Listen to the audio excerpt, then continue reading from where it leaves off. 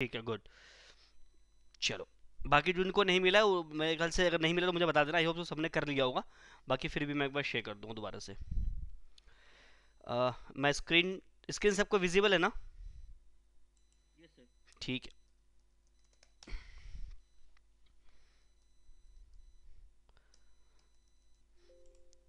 ठीक है।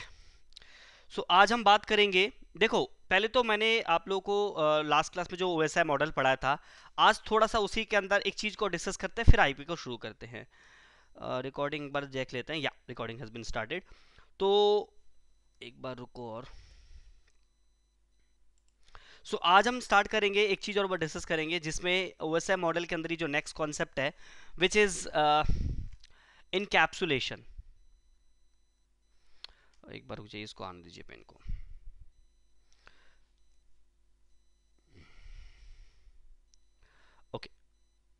So we will discuss about encapsulation.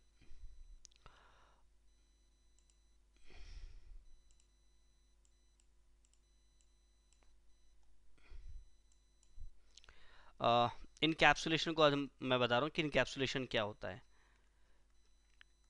Encapsulation and decapsulation decapsulation de encapsulation या decapsulation बोलते हैं। अब इसका कॉन्सेप्ट क्या है, उसको थोड़ा समझते हैं। देखो, एक होता हमारे पास सेंडर और एक होता हमारे पास रिसीवर राइट तो आपका एप्लीकेशन लेयर पे डेटा होता है देन उसके बाद आपका डेटा आता है प्रेजेंटेशन लेयर पे, फिर आता है आपके सेशन लेयर पे, और उसके बाद सेशन लेयर से डेटा हैंड ओवर होता है ट्रांसपोर्ट लेयर पे। तो अब हम ट्रांसपोर्ट लेयर से बात कर रहे हैं राइट तो ट्रांसपोर्ट लेयर पे, यानी सेशन लेयर से जब डेटा आता है, दो this is the data suppose this is the data ये डेटा है। अब इस डेटा के ऊपर क्या लगता है आपका? इसके ऊपर लगता है आपका ट्रांसपोर्ट लेयर का हेडर सपोज़ ये मेरा क्या लग गया? टीएल यानी transport layer TL means transport layer header अब इस हेडर के अंदर कुछ इंफॉर्मेशन होगी, जो क्या करेगा? देखो, एक सिंपल सी चीज़ समझना। आप जब भी किसी को लेटर सेंड करते हो, मैं आपकी बात कर रहा हूँ, अगर आपको अपने फ्रेंड को कोई लेटर सेंड कर रहा है तो ये होगा आपका लेटर जिसमें आप अपने दोस्त को जो भी लिखना होगा लिखोगे, और इस लेटर के ऊपर आप क्या करोगे, एक एनवलप चढ़ाओगे, एक एक एनवलप चढ़ाओगे, जिसके अंदर आप to address and from address लिखते हो और आप उसको पोस्ट कर देते हो। ये तो बात रही रियल हम लोग जो करते हैं। बट नेटवर्क में जब भी कोई डेटा एक सोर्स से दूसरे डेस्टिनेशन तक जाता है, एक जगह से दूसरी जगह पे जाता है तो वहाँ पे एक नहीं, सात कवर होते हैं। देर आर सेवन कवर्स जो मैंने अभी आपको बताया था एप्लीकेशन प्रेजेंटेशन तो सात कवर्स आपके अंदर, इसमें एक डेटा के ऊपर सात कवर मतलब कह लो कि होता है, लगता है। और हर कवर की क्या होती है? कुछ सर्टेन टास्क होता जो हमने भी डिस्कस किया था। तो हमारा डेटा जब ट्रांसपो एप्लीकेशन लेयर से प्रेजेंटेशन पे आता है, फिर सेशन पे आता है, उसके बाद हैंडओवर होता है ट्रांसपोर्ट लेयर पे। तो जब भी डेटा रिसीव होता है तो डेटा के ऊपर क्या लग गया? ट्रांसपोर्ट लेयर का हेडर लग गया। और इस हेडर के अंदर there is some certain information जैसे कि इसमें आपका बहुत सारी इंफॉर्मेशन होती है, लेकिन जो मेजर टॉपिक होता है, जो इसके अंदर लगता है विच इज़ सोर्स पोर्ट एक इसके अंदर होती है सोर्स पोर्ट की इंफॉर्मेशन और एक होती है आपकी डेस्टिनेशन पोर्ट की इंफॉर्मेशन। एक सोर्स पोर्ट की इंफॉर्मेशन ऐड होती है और एक डेस्टिनेशन पोर्ट की इंफॉर्मेशन ऐड होती है। इसके अलावा भी बहुत सारी चीज़ें ऐड होती हैं। बट एज ऑफ़ नाउ आपको दो इंफॉर्मेशन के बारे में जानना है, source port and destination port. तो आपके डेटा के ऊपर क्या लगा? ट्रांसपोर्ट लेयर का हैडर ऐड हुआ। इसी प्रोसेस को बोलते हैं encapsulation. When extra information added into your data, that process known as encapsulation. तो यहाँ पे ट्रांसपोर्ट लेयर का हेडर इनकैप्सुलेट हुआ और ट्रांसपोर्ट लेयर का हेडर जब इनकैप्सुलेट होता है तो इसको बोलते हैं, यानी data plus your transport layer header it called a segment इसको क्या बोलते हैं? सेगमेंट बोलते हैं। उसके बाद क्या होता है, ये डेटा आपका ट्रांसपोर्ट लेयर का हेडर ऐड होने के बाद फिर ये नेक्स्ट लेयर पे जाता है, जो कि है नेटवर्क लेयर पे। ठीक है, ये मेरा, यहाँ पे ये ट्रांसपोर्ट लेयर था this is the transport layer यानी लेयर फोर मैं लिख देता हूँ this is the layer four and this is the layer three तो जब डेटा आपका लेयर थ्री पे आता है एक बार म्यूट कर लेना पहले मुझे सुन लो कुछ डाउट होगा तो डेफिनेटली तब लेंगे। ओके ओके आवाज़ नहीं आ रही थी। ओके आज आज थोड़ा सा मेरे ख्याल से ना नेटवर्क में दिक्कत चल रहा है। एक मिनट देना मुझे। मे, मेरे नेटवर्क में आप लोग स्टार्ट द रिकॉर्डिंग सो मैं बोल रहा था कि जैसे ही आपके ट्रांसपोर्ट लेयर पे डेटा आता है तो उस पर क्या लगता है? ट्रांसपोर्ट लेयर का हेडर लगता है। और जब ट्रांसपोर्ट लेयर का हेडर लग जाता है तो उसको बोलते हैं हम सेगमेंट यानी ट्रांसपोर्ट लेयर पे सेगमेंट होता है हमने डिस्कस किया था। उसके बाद डेटा हैंड ओवर होता है आपके ट्रांसपोर्ट लेयर से नेटवर्क लेयर पे, यानी लेयर थ्री पे। जब लेयर थ्री पे आपका डेटा हैंड ओवर होता है तो यहाँ पे क्या लगता है आपका? नेटवर्क लेयर का हेडर लगता है। तो यहाँ पे क्या लग गया? नेटवर्क लेयर का हेडर यहाँ पे क्या लग गया? नेटवर्क लेयर यानी एन एल लिख दिया मैंने हेडर लग गया। तो ये भी डेटा इनकैप्सुलेट हुआ, यानी लेयर थ्री पे। नेटवर्क लेयर का हेडर इनकैप्सुलेट होता है, ठीक है? अब ध्यान से समझना यहाँ पे तो ये जब नेटवर्क लेयर का हेडर इनकैप्सुलेट होता है तो data plus transport layer header plus network layer header इसको बोलते हैं हम पैकेट यहाँ पे क्या बनता है आपका? पैकेट पैकेट ठीक है? अब ध्यान से एक चीज़ समझना। जो आपका यहाँ पे ट्रांसपोर्ट लेयर का हेडर ऐड होता है। मैं यहाँ पे एक और इंफॉर्मेशन ऐड करता हूँ। तो ट्रांसपोर्ट लेयर के हेडर में या तो ये टीसीपी का हेडर होगा, या तो यहाँ पे ये यूडीपी का हेडर होगा। यानी यहाँ पे जो इनकैप्सुलेशन होता है, इनके अंदर जो प्रोटोकॉल रिस्पॉन्सिबल होता है which is TCP and UDP यानी ट्रांसपोर्ट लेयर पे जो ट्रांसपोर्ट लेयर पे जो हेडर ऐड हुआ ट्रांसपोर्ट लेयर का लेयर फोर का हेडर जो ऐड हुआ either I can say layer four header either I can say transport layer header तो या तो यहाँ पे ट्रांसपोर्ट लेयर का हेडर ऐड होगा, है ना हेड होगा, या तो यहाँ पे टीसीपी प्रोटोकॉल यूज़ होगा, या तो यूडीपी तो there is two protocol which is responsible for adding the header information अब टीसीपी होगा या यूडीपी होगा अगेन डिपेंड करता है कि आपके नेटवर्क एप्लीकेशन लेयर पे कौन सा प्रोटोकॉल यूज़ हुआ है। उसके बाद जब आपके लेयर थ्री पे आता है तो यहाँ पे नेटवर्क लेयर का हेडर लगता है। तो नेटवर्क लेयर के हेडर को जो इनकैप्सुलेट करने के लिए जो प्रोटोकॉल रिस्पॉन्सिबल होता है विच इज़ आईपी प्रोटोकॉल ये एक मेजर प्रोटोकॉल है टीसीपी एंड यूडीपी प्रोटोकॉल जहाँ पे लेयर फोर पे ऐड होता है, और नेटवर्क लेयर पे जो हेडर इनकैप्सुलेट होता है, वो आईपी का हेडर इनकैप्सुलेट होता है। तो नेट डेटा लिंक लेयर पे सॉरी ट्रांसपोर्ट लेयर पे या तो टीसीपी होगा या तो यूडीपी होगा दोनों में से कोई एक प्रोटोकॉल का हेडर इनकैप्सुलेट होगा और लेयर थ्री के ऊपर आईपी प्रोटोकॉल का हेडर इनकैप्सुलेट होगा। इसके बाद डेटा कहाँ पे आता है आपके? डेटा आता है यहाँ पे, मैं यहाँ पे आईपी एक मिनट इसको हटाता हूँ। डेटा आपका हैंड ओवर होता है डेटा लिंक लेयर पे। Then it will come to data link layer तो मैं यहाँ पे वापस से लिख देता हूँ, यहाँ पे कौन सा हेडर लगता है? आईपी प्रोटोकॉल रिस्पॉन्सिबल होता है हेडर को इनकैप्सुलेट करने के लिए, ठीक है? अब डेटा लिंक लेयर यानी जो लेयर थ्री लेयर टू है थोड़ा सा आगे कर देता हूँ। यहाँ पे क्या हेडर होता है? यहाँ पे लेयर टू के पास डेटा आता है। तो जैसी लेयर टू पे डेटा आता है तो यहाँ पे लेयर टू क्या करता है? यहाँ पे दो इंफॉर्मेशन ऐड करता है। यहाँ पे ऐड होता है डेटा लिंक लेयर का हैडर प्लस ट्रेलर मैंने आपको बताया था यहाँ पे हैडर होता है, यहाँ पे लेयर टू मैं लेयर टू लिख सकता हूँ यहाँ पे लेयर टू हैडर यहाँ पे ऐड होगा। चाहे मैं लेयर टू लिखूं या डेटा लिंक लेयर लिखूं, एक ही बात है। और यहाँ पे लेयर टू ट्रेलर ऐड होगा, ध्यान रखना। और यहाँ पे हेडर ऑन ट्रेलर को ऐड करने के प्रोसेस को हम लोग ऑब्वियसली इनकैप्सुलेशन बोलेंगे। तो जब आपके, उसके ऊपर, यानी जो आपका पैकेट बेसिकली पैकेट रिसीव होता है, जिसमें data link data plus transport layer header यानी layer four header plus layer three header add होता है। जैसे ही लेयर टू इसको रिसीव करता है तो वहाँ पे क्या ऐड हो जाता है? लेयर टू का हेडर एंड ट्रेलर तो जैसे लेयर टू का हेडर एंड ट्रेलर ऐड हुआ तो यहाँ पे इसको बोलते हैं हम लोग फ्रेम फ्रेम बोलते हैं। क्या बोलते हैं इसको हम लोग? फ्रेम।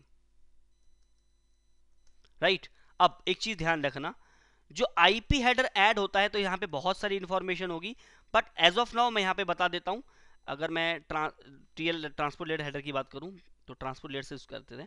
तो ट्रांसपोर्ट लेयर पे ऐड होता है आपका source port source port number and destination port number ये क्या होता है हम लोग आगे चल के बात करेंगे इसके बारे में।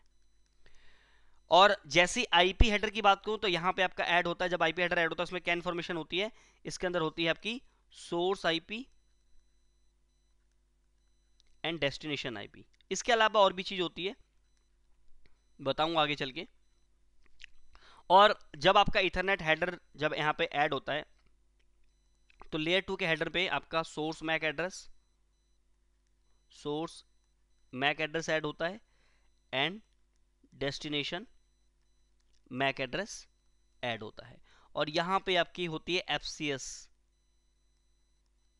F C S value जो मैंने आप लोगों को बताया था। तो ये जो इनकैप्सुलेशन हुआ इनकैप्सुलेशन का मतलब जो डेटा एडर ऐड हो रहा है डेटा के ऊपर, उसी को हम इनकैप्सुलेशन बोलते हैं। तो ध्यान रखना, जो रिसीविंग एंड पे, जो सॉरी जो सेंडर एंड जो सेंडर होगा, वो क्या करेगा? डेटा के अंदर डेटा के अंदर क्या ऐड करेगा? हेडर ऐड करेगा। और इसी प्रोसेस को हम लोग क्या बोलते हैं? इनकैप्सुलेशन इनकैप्सुलेशन तो जब आप डेटा रिसीवर को रिसीव होगा, इन डेटा के अंदर जो ये हेडर्स होंगे, इनको क्या क्या करेगा वो? रिमूव करेगा। तो ध्यान रखना, यहाँ पे आपका हेडर ऐड होता है, यहाँ पे हेडर आपका रिसीविंग एंड पे रिमूव होता है। जब डेटा के अंदर उस हेडर को रिमूव किया जाता है, उस प्रोसेस को बोलते हैं डी कैप्सुलेशन यहाँ तक कोई डाउट है किसी को? Anyone have any doubt till the point everyone सबको क्लियर है? बिन्नी जी और रैपी? रैपी, आपको भी क्लियर है? ठीक है। तो चलो स्टार्ट करते हैं। कंटिन्यू नेक्स्ट टॉपिक तो इसी को बोलते हैं हम encapsulation and decapsulation that's it अब बात करेंगे अगले टॉपिक की विच इज़ नेटवर्क एड्रेस जिसमें हम दो एड्रेस की बात करेंगे. एक बात करेंगे हम लॉजिकल एड्रेस की बारे में. और एक बात करेंगे हम फ़िज़िकल एड्रेस के बारे में। लॉजिकल एड्रेस हम बोलते हैं आईपी एड्रेस को। और फ़िज़िकल एड्रेस बोलते हैं हम मैक एड्रेस को।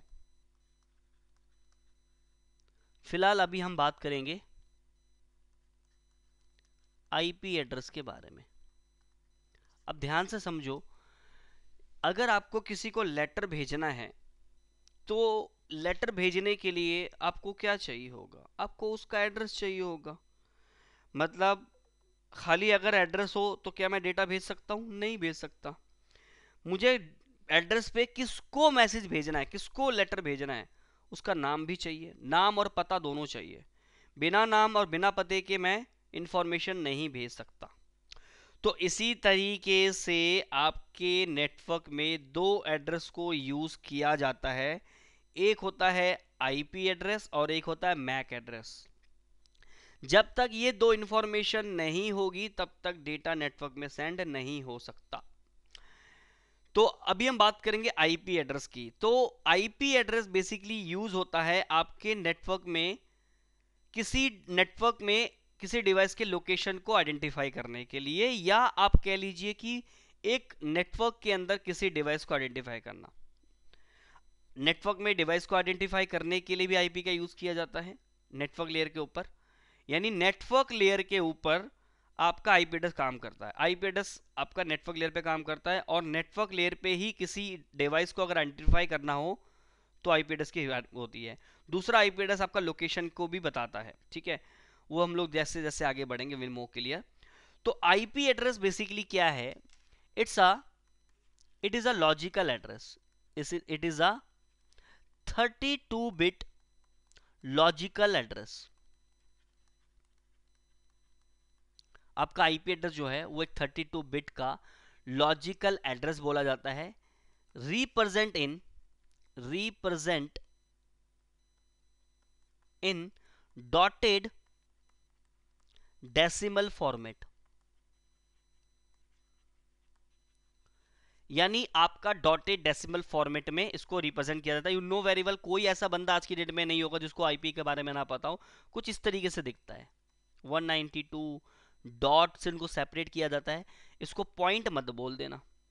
192.160.9 और अगर बीच में अगर आवाज़ ब्रेक होती है तो प्लीज़ एक बार मुझे बीच में ही टोक देना, सर आपकी आवाज़ ब्रेक हो रही थी, ठीक है? आज मेरा नेटवर्क थोड़ा डिस्टर्ब कर रहा है कल ये इशू रिजॉल्व हो जाएगा बट फिर भी अगर होता तो आप मुझे बीच में बोलिएगा तो मैं उसको दोबारा से रिपीट कर दूँगा। तो 192.168.162.168.10.10 ये क्या है? दिस इज़ अन एड्रेस और इसी को हम लोग आईपी एड्रेस भी बोल देते हैं।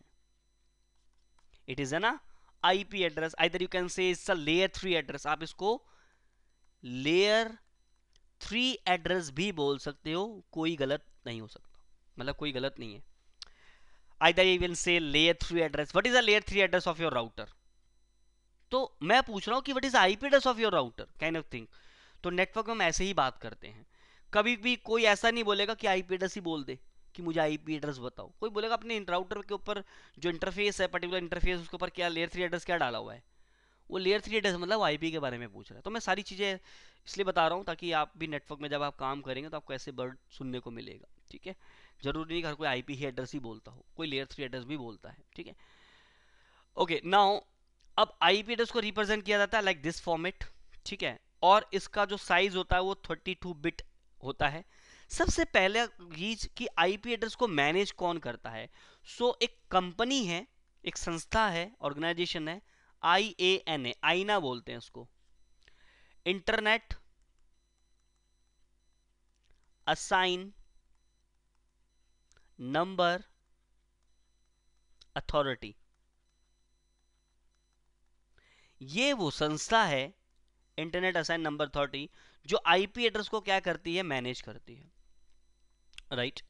और इसी ने ही इस आईपी एड्रेस को इस फॉर्मेट में बनाया है। अब क्वेश्चन है कि इसी फॉर्मेट में ही क्यों बनाया है? क्या इसका कोई और सेंस नहीं हो सकता था क्या? तो थोड़ा सा ना हम लोग बिट के बारे में बात करते हैं। यानी कुछ बिट एंड बाइनरी जो सोमर होता है बाइनरी इसके बारे में बात करते हैं। फिर हम लोग वापस पॉइंट पाएँगे। तो आपका जो कंप्यूटर या जो नेटवर्क डिवाइसेस होते हैं, वो बेसिकली बाइनरी में काम करते हैं। यानी उनका जो लैंग्वेज uh, होता है वो कह सकते हो binary language they cannot understand Hindi English Gujarati like this no they understand only binary and binary जो होता है वो या तो ज़ीरो होता है बाइनरी में या तो वन यानी ये ही दो डिजिट से ही आपका पूरी बाइनरी सिस्टम बना हुआ है। अगर मैं बात करूँ कि जैसे मैं हिंदी में अमित कुछ इस तरीके से लिखूँगा इंग्लिश में कुछ इस तरीके से लिखूँगा बट अमित को अगर मैं बाइनरी में लिखूँ एग्ज़ाम्पल ये बाइनरी हाल ज़रूरी है कि अमित ही हो बट अमित को बाइनरी में कुछ इस तरीके से रिप्रेजेंट किया जाता है ज़ीरो और वन के फॉर्मेट में। तो ये इसी को हम लोग बोलते हैं बाइनरी ठीक है बाइनरी में या तो ज़ीरो होगा या तो वन होगा। तो ध्यान से समझो एक चीज़ को, अगर एक सिंगल ज़ीरो होता है, या एक सिंगल और अ सिंगल वन होता है, यानी या तो सिंगल ज़ीरो या तो सिंगल वन इसको बोलते हैं हम बिट बिट को हम इस तरीके से लिखते हैं बी स्मॉल में I T bit this bit अगर इट्स कॉम्बिनेशन ऑफ़ कॉम्बिनेशन या फिर बोलते हैं हम एट बिट यानी अगर मैं इस तरीके से बोलूँ, ये सिंगल वन और ज़ीरो को हम लोग बिट बोलते हैं. अगर इस तरीके से है zero one one zero zero one one एक, दो, तीन, चार, पाँच, छ, सात it's the 8 bit. These are 8 bit. These are 8 bit. 8 bit equal to 1 byte. तो एक बिट आठ bit combination of the eight bit is called one byte इसी तरीके से one thousand byte one thousand byte को मिला के बनता है one kilobyte one kilo bit, not kilobyte sorry, it's a kilobit 1000 byte equal to one kilobit ठीक है? इसी तरीके से और होता है। फ़िलहाल के अभी इतना ही रखते हैं, क्योंकि मैं कंफ्यूज नहीं करना चाहता। आगे चल के और डिटेल में डिस्कस करेंगे। ठीक है? So zero one one zero zero zero ये जो कॉम्बिनेशन आप देख रहे हो, इसको मिला के क्या बनता है? एक बाइट बनता है और वन थाउज़ेंड बाइट को मिला के आपका वन के बी बनता है। राइट अब अगर मैं बोलूँ चलो एक और लिखवा देता हूँ क्या दिक्कत है? अगर मैं बोलूँ थ्री ज़ीरो एंड देन और थ्री ज़ीरो और मैं ऐड कर देता हूँ तो और इसको मैं लिख देता हूँ के बी तो इकाई दई सैकड़ा हज़ार दस हज़ार लाख दस लाख। यानी ten lakh K B equal to one M B होता है। Mega, megabyte megabit megabit. ये याद रखना कॉम्बिनेशन अगर वन के पीछे आपके नाइन ज़ीरो लग जाते हैं, one, two, three, four, five, six, seven, eight, nine और एम बी यानी megabit equal to one gigabit होता है। One thousand byte equal to one kilobit ten K B equal to one megabit अब ये कितना बड़ा है देख लेना, ठीक है? इतना अगर वन के पीछे आपके नाइन ज़ीरो लगे हैं, M B equal to one bit होता है, वन गीगा बिट होता है। तो ये मैं क्यों बता रहा हूँ? If this question get in your exam कि भैया वन गिक वन गिक में कितने मेगा बिट होते हैं, और आपके पास ये चार पाँच ऑप्शन हो तो आपको राइट right आंसर का पता होना चाहिए। इसी तरीके से अगर मेरा वन एक, दो, तीन, चार, पाँच, छ, सात, आठ, नौ, दस, ग्यारह, बारह। वन के पीछे अगर ट्वेल्व ज़ीरो है।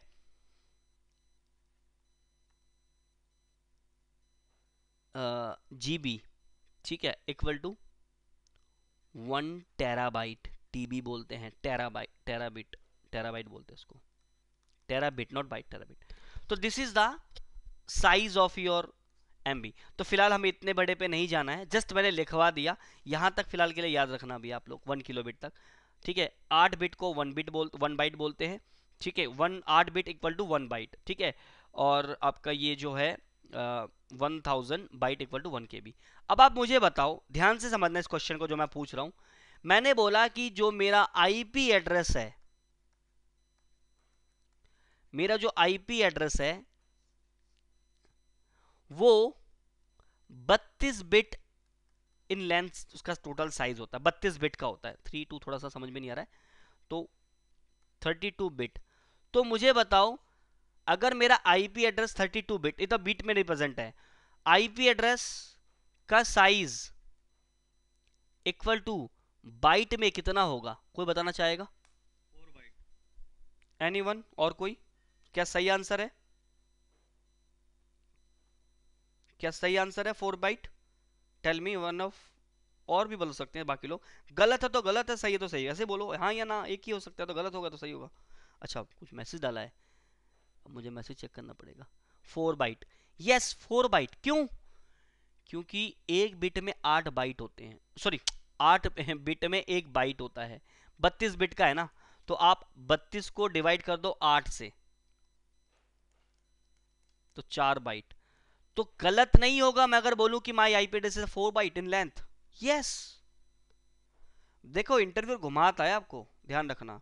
इंटरव्यू क्या बोलता पता है? आ, कि आपका जो आ, आ, क्या बोलते हैं आईपी एड्रेस है वो फोर बाइट का होता है क्या? नहीं सर वो तो बत्तीस बिट का होता है। अरे मैंने वही तो बोला। आठ बा चार बा, फोर बाइट का मतलब आपका बत्तीस बिट तो आपको इसका पता होना चाहिए। और इंटरव्यू में नहीं एग्ज़ाम में भी ऐसे ही आते घुमा फिरा के। ठीक है तो आपको जब राइट चीज़ें पता होंगी मैसेज डाल रहे हो four byte sir in my real life example TCP like UDP sir is any real life example okay मैं दूँगा definitely TCP and UDP based अभी मैं दे देता हूँ, दो मिनट दे दो, पहले आईपी को कर लेते हैं, ठीक है? लास्ट में, खत्म होने से पहले क्लास को, पाँच मिनट पहले मैं ये टीसीपी और यूडीपी को रियल लाइफ एग्ज़ाम्पल से दे दूँगा। अभी हम आईपी पे फोकस करते करते हैं। तो आईपीएस का आपको पता लग गया कि आईपीएस 32 बिट इन लेंथ होता है। अब क्वेश्चन ये आता है कि 32 बिट में अगर है तो इसको रिप्रेजेंट 32 बिट को डॉटेड डेसिमल में ही क्यों किया गया है? तो इसके पीछे का लॉजिक समझो। देखो, किसी को पूछना, मैं आपको बता दो 90 नाइन्टी फाइव परसेंट मैं रेशो रखता हूँ, नहीं पता होगा लोगों को। अगर आप पूछोगे कि why I P address represent in dotted decimal format why कोई आंसर मुश्किल ही दे पाए। तो उसके पीछे का लॉजिक थोड़ा समझा देता हूँ, क्या लॉजिक है। अगर कोई चीज़ है तो उसके पीछे ज़रूर कोई ना कोई लॉजिक होगा। तो मैं बात करता हूँ, देखो, जो आपकी बाइनरी होती है, उसका बेस होता है टू क्यों? क्योंकि बाइनरी के अंदर तो ज़ीरो होगा, या तो वन होगा। तो कितने डिजिट हैं ये? दो डिजिट हैं, इसीलिए बाइनरी का बेस कितना होता है? दो होता है। तो अगर मैं बात करूँ कि मेरा जो आईपी एड्रेस है, वो 32 बिट का है तो इसका मतलब है कि मेरा टू की पावर 32 टू टू क्या है मेरा? बाइनरी बेस और बिट कितनी है? 32 बिट। तो टू की पावर 32 का मतलब मैं टू को 32 से मल्टीप्लाई नहीं करूँगा। I will multiply two 32 time two into two, फिर जो आएगा उसको फिर टू से मल्टीप्लाई फिर जो आएगा उसको फिर टू से मल्टीप्लाई तो now what is the time एक बार देख लेते हैं कि what is the number I will get if I multiply 32 time अगर मैं टू को मल्टीप्लाई करता हूँ तो। टू की पावर, टू की पावर का मतलब है टू की पावर, एक्स की पावर वाई, टू की पावर मतलब thirty two. What is the number it's the number copy करते हैं और आपके नंबर आपके सामने लिखता हूँ। तो this is the number when I explore my thirty two bit in this single length तो सिंगल अगर मैं डिजिट में इसको करता हूँ तो मुझे ये वैल्यू मिलती है। तो देखो आईपी एड्रेस को अगर इस तरीके से लिखा जाता 32 बिट एक ही लेंथ में लिखा जाता तो इतना बड़ा नंबर होता। यानी अगर किसी सिस्टम को मुझे आईपी देना है तो लाइक मैंने दे दिया four one nine three nine six five two nine three कुछ एक नंबर ले लिया मैंने, और एक कंप्यूटर को मैंने आईपी दे दिया four one nine two nine five two nine nine इतने बड़े नंबर को अगर ऐसे मैं दस कंप्यूटर को कनेक्ट कर दूँ, और इसी सीरीज़ में नंबर दूँ ये रेंज है एक से लेके यहाँ तक जाएगा रेंज ये। मैक्सिमम रेंज जाएगा, एक से लेके यहाँ तक जाएगा। तो अगर मैं किसी कंप्यूटर को ये आईपी दे दूँ, एक को मैंने ये दे दिया, एक को मैंने दे दिया nine six five two three one two यार इतने बड़े बड़े नंबर मेरे लिए याद रखना मुश्किल है। एक इंसान नाम को आसानी से याद रख सकता है। नंबर्स को नहीं रख सकता। इतने बड़े बड़े नंबर्स तो। यार, आपके घर के नंबर आपके फैमिली के नंबर ही आपको कई लोगों के याद नहीं होंगे। आपको अपना नंबर अगर नया लेते हो तो भी आपको देखना पड़ता है कि मेरा नंबर क्या है। और मैक्सिमम एक दो लोगों के ज़्यादा नंबर आपको याद नहीं होंगे। सारे नंबर्स आपको देखने पड़ते होंगे। क्योंकि हम लोग नंबर्स में डील ही नहीं कर सकते। हमारे थिंकिंग नाम के ऊपर ज़्यादा रहता है, तभी तो हम लोग नाम को याद रख पाते हैं अदर देन नंबर्स तो इसीलिए आईपी एड्रेस को अगर इतने बड़े लेंथ में अगर हम रिप्रेजेंट करते तो एक इंसान की साइकोलॉजी के हिसाब से इतने बड़े नंबर को याद रखना बड़ा मुश्किल है। तो दैट इज़ वाई इस 32 बिट को एक सिंगल लेंथ में ना लेके इसको चार ऑक्टेट में डिवाइड कर दिया। इसको बोलते हैं हम ऑक्टेट दिस इज़ ऑक्टेटा नहीं ऑक्टेट नॉट ऑक्टेटा ऑक्टेट ये भी क्या है? ऑक्टेट है। ओ सी टी ए टी ठीक है ऑक्टेट स्पेलिंग देख लेना ऑक्टेट बोलते हैं, ठीक है प्रोनाउंस ऑक्टेट ही बोलते हैं. तो these are four octet and every octet separated by a dot and each octet octet size इसको थोड़ा सा मैं और सही से लिखता हूँ. जो आईपी एड्रेस होता है, उसको टोटल चार ऑक्टेट में डिवाइड किया गया. These are four octet one two three and four each octet separated by a dot each octet is separated by a dot. And each octet size is 8 bit long. It is also a 8 bit. It is also a 8 bit. It is also a 8 bit. तो एक इंसान को 32 bit की जो एक single length है, उसको याद रखना मुश्किल है। अदर देन हम इसको क्या करें? चार पार्ट में डिवाइड कर दें आठ आठ बिट के हिसाब से। और आठ बिट का मतलब है कि टू की पावर एट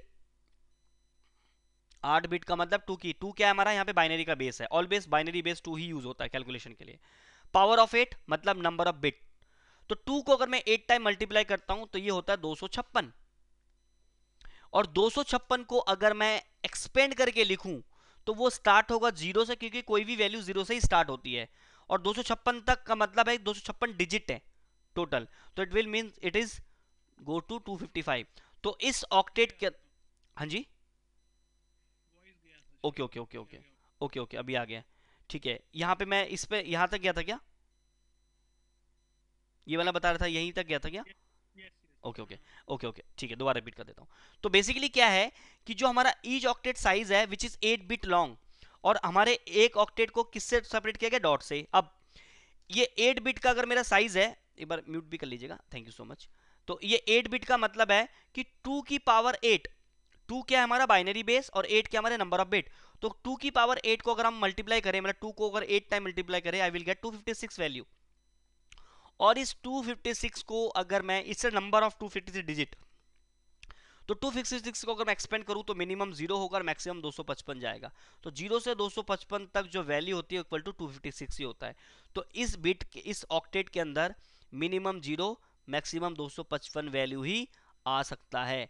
इसीलिए आपको जो आईपी एड्रेस होता है उसके अंदर जो आपके जो फोर ऑक्टेट जो होते हैं एक ऑक्टेट के अंदर आपको मिनिमम ज़ीरो और मैक्सिमम 255 ही मिल सकता है इससे ऊपर की वैल्यू मिलेगा यानी किसी ऑक्टेट के अंदर अगर दो सौ छप्पन वैल्यू आ रहा है मतलब वो एक इनवैलिड एड्रेस है it's not a valid address अगर मान के चलो कोई आपके सामने आईपी लिख दे 192, 168, 10.1 और कुछ पूछ ले कि भैया मुझे बताओ यहाँ पे 10 ना लगा कि यहाँ पे वन यहाँ पे 256 लगा दिया। सपोज़ यहाँ पे बीच में इसने 259 लगा दिया और डॉट टेन कर दिया। कह रहा है, मुझे बताओ ये कौन सी क्लास का आईपी है? अभी मैं क्लास बताऊँगा। तो वैसे ये क्लास सी का आईपी एड्रेस है, लेकिन लोग पहले वाले लिखते क्लास सी नहीं it's not a class C address it's not a valid address not a valid address why it is not a valid? Because in this octet, you added 259 and 259 is not possible in each octet. किसी octet के अंदर it's any octet it is not possible, you will add more than 255 value. If it, if you add it, कोई someone लिख लिख देता आपके आपके सामने तो you can say it's a not a valid address. वो आपको जज करना चाहता है कि आपका कैचिंग पावर कितना अच्छा है। तभी आप नेटवर्क में काम कर सकते हो। आपको छोटी छोटी बारीकियों का पता होगा तभी, ठीक है? इसीलिए तो यार आईपीएस आईएएस बनने के लिए आपको पता कितनी मेहनत करनी पड़ती है। अगर एरे गहरे को उठा के डाल दे तो फिर तो बेड़ा गर्क हो जाएगा ना।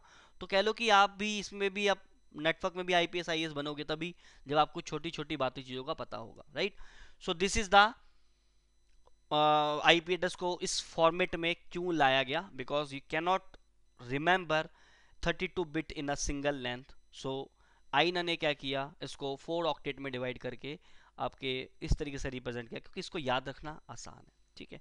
और भी जब हम और आगे पढ़ेंगे विल गेट मोर क्लियर ठीक है? तो आई पी एड्रेस क्या है? It's a logical 32 bit address ठीक है? Represent in dotted decimal format and ये आपका इस तरीके से रिप्रेजेंट किया जाता है और ईच ऑक्टेट जो होता है आपका यहाँ पे लिखवा देता हूँ third point each octet each octet is eight bit long तभी तो eight multiply by four it's thirty two ओहो।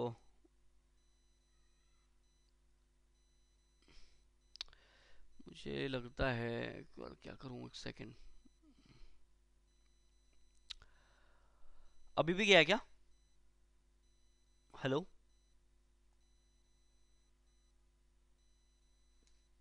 hello hello hello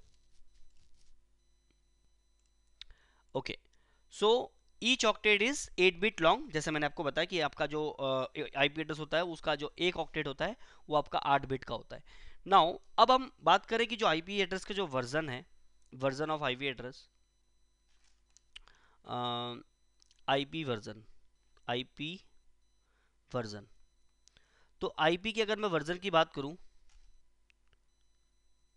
वर्जन की बात करूँ तो इसमें दो वर्जन है। एक है आपका I P V four version और एक है आपका आई पी वर्जन तो जो आई पी है, वो थर्टी टू बिट का है बट आई पी आपका one twenty eight bit one twenty eight bit का होता है, जिसको रिप्रेजेंट किया जाता है, ये आपका एक सौ अट्ठाईस बिट का होता है but represent in represent in hexadecimal इसको हेक्सा डेसिमल में इसको रिप्रेजेंट किया जाता है, ठीक है? तो आपका IPv6 होता है और एक आपका IPv4 अभी जो हम बात करेंगे IPv4 के बारे में बात करेंगे, ठीक है? अब आईपी एड्रेस को बेसिकली जो मैनेज करता कौन है? आईना मैनेज करता है। तो आईना ने क्या किया हुआ है? आईना ने आईपी एड्रेस को क्लासेस में डिवाइड किया यानी IP address IP addresses are divided into five classes, into five class. Five class में इसको डिवाइड किया गया। First class A second class B third class C fourth class D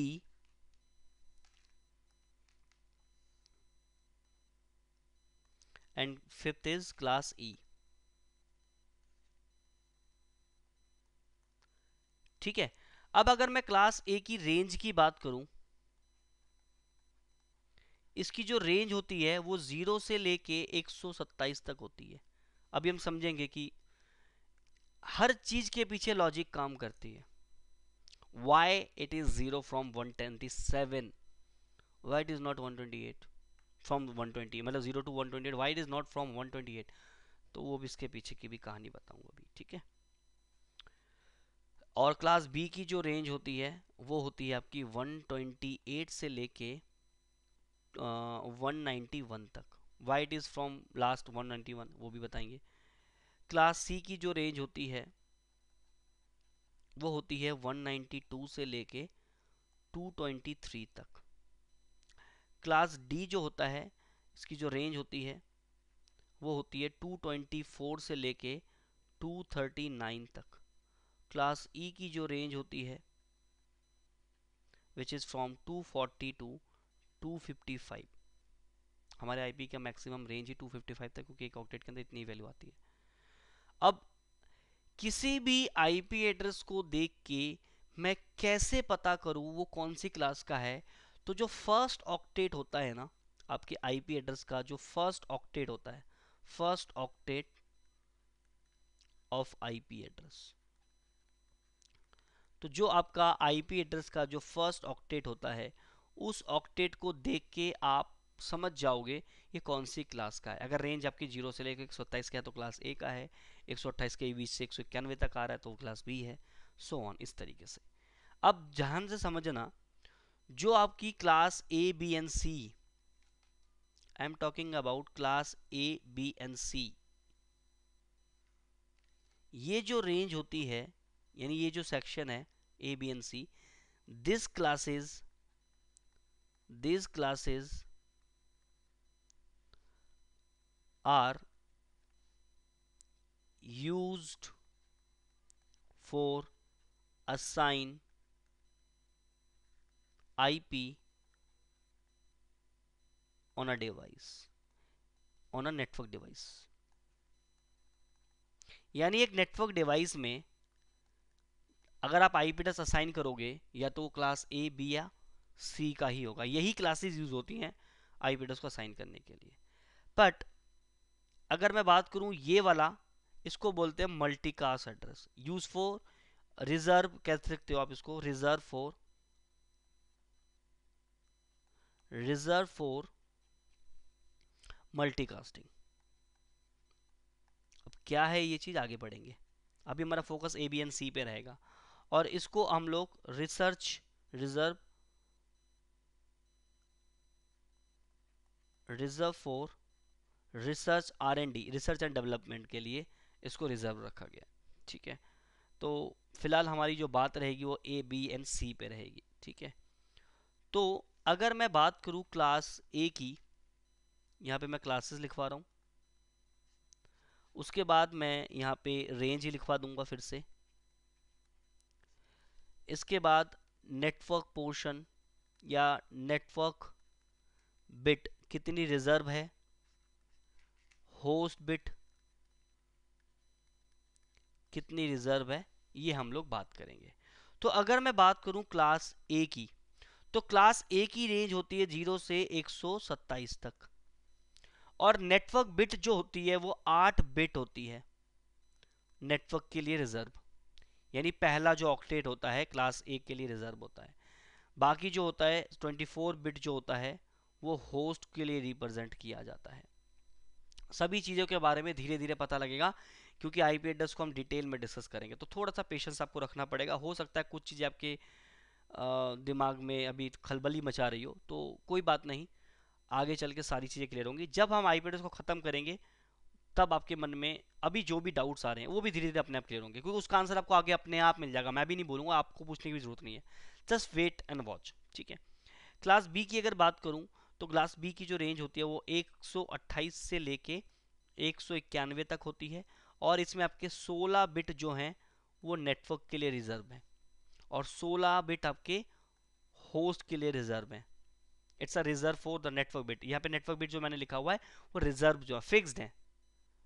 ठीक है? क्लास सी की बात करूँ तो क्लास सी के अंदर जो आपकी 192 से लेके 223 तक होती है एंड आपके 24 बिट जो होते हैं, वो नेटवर्क के लिए रिज़र्व हैं, और 8 बिट जो हैं, वो आपके होस्ट के लिए रिज़र्व हैं। होस्ट मैंने लिखा है यहाँ पे होस्ट है basically H O S T host host मतलब एक पर्टिकुलर क्या देखेंगे देखेंगे होस्ट किससे बोलते हैं हम लोग, ठीक है? तो this is the range network bit कितनी है और होस्ट बिट कितनी है? तो अगर मैं बात करूँ, एक ढंग से कि क्लास ए में हमारा जो पहला जो ऑक्टेट होता है, वो नेटवर्क को रिप्रेजेंट किया जाता है। बाकी के जो लास्ट 24 बिट हैं वो होस्ट के लिए रिज़र्व हैं। जो मैंने अभी ऊपर लिखा है ना, आठ बिट और सोल, चौबीस बिट उसी को मैंने बोला। तो ये आठ बिट नेटवर्क का और चौबीस बिट आपके होस्ट के हैं, ठीक है? इसी तरीके से अगर मैं क्लास बी को भी थोड़ा सा और एलिब्रेट करूँ तो स्टार्टिंग के जो 16 बिट है, यानी पहले जो दो ऑक्टेट हैं, वो नेटवर्क के लिए रिज़र्व है और लास्ट के दो जो ऑक्टेट हैं, वो होस्ट के लिए रिज़र्व हैं। क्लास सी की अगर मैं बात करूँ तो क्लास सी के अंदर स्टार्टिंग के तीन जो ऑक्टेट हैं, वो नेटवर्क को रिप्रेजेंट करते हैं और लास्ट वाला जो पोर्शन है वो होस्ट के लिए रिप्रेजेंट करते हैं। अब देखो, जो मैंने अभी ऊपर आपको लिखवाया है कि जो रेंज होती है वो यहाँ से यहाँ तक होती है। सो कोई अगर आपसे पूछे कि मुझे उसके पीछे का लॉजिक बताओ तो उसको आप कैसे समझाओगे, वो मैं आपके सामने बता रहा हूँ, ठीक है? तो थोड़ा सा ध्यान से समझना, ठीक है? मैंने बताया कि जो आपका आईपी एड्रेस होता है, वो आपका चार ऑक्टेट में डिवाइड होता है और each octet size is eight bit long तो मैं आपके सामने वो एक ऑक्टेट को मैं आठ बिट में लिख रहा हूँ, ठीक है? कि मैं second one two three four five six seven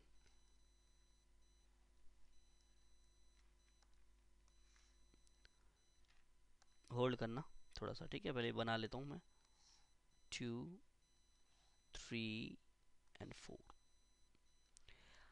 हम पहले वाले ऑक्टेट के ऊपर फोकस करेंगे। We will focus on this octet क्योंकि पहले ऑक्टेट को देख के ही मैं समझ सकता हूँ कि ये क्लास ए है बी है या सी है राइट या डी है या ई e है वट तो जो रेंज है वो इसी में ही छुपा हुआ है कि रेंज जो है वो एक से लेके, यानी ज़ीरो से लेके 126 27 तक ही क्यों है? ठीक है? तो समझते हैं इसको। तो मैं यहाँ पे क्लास ए को भी रिप्रेजेंट करूँगा क्लास बी को भी और क्लास सी को भी। I will not talking about class D और ई क्योंकि हमारा focus A B and C पे रहने वाला है। तो ऊपर वाला क्लास ए लिख लेते हैं, इसके नीचे वाला क्लास बी लिख लेते हैं। आवाज़ तो मेरी ब्रेक नहीं हो रही ना अभी? गाइस अभी तो मेरी आवाज़ ब्रेक नहीं हो रही ना?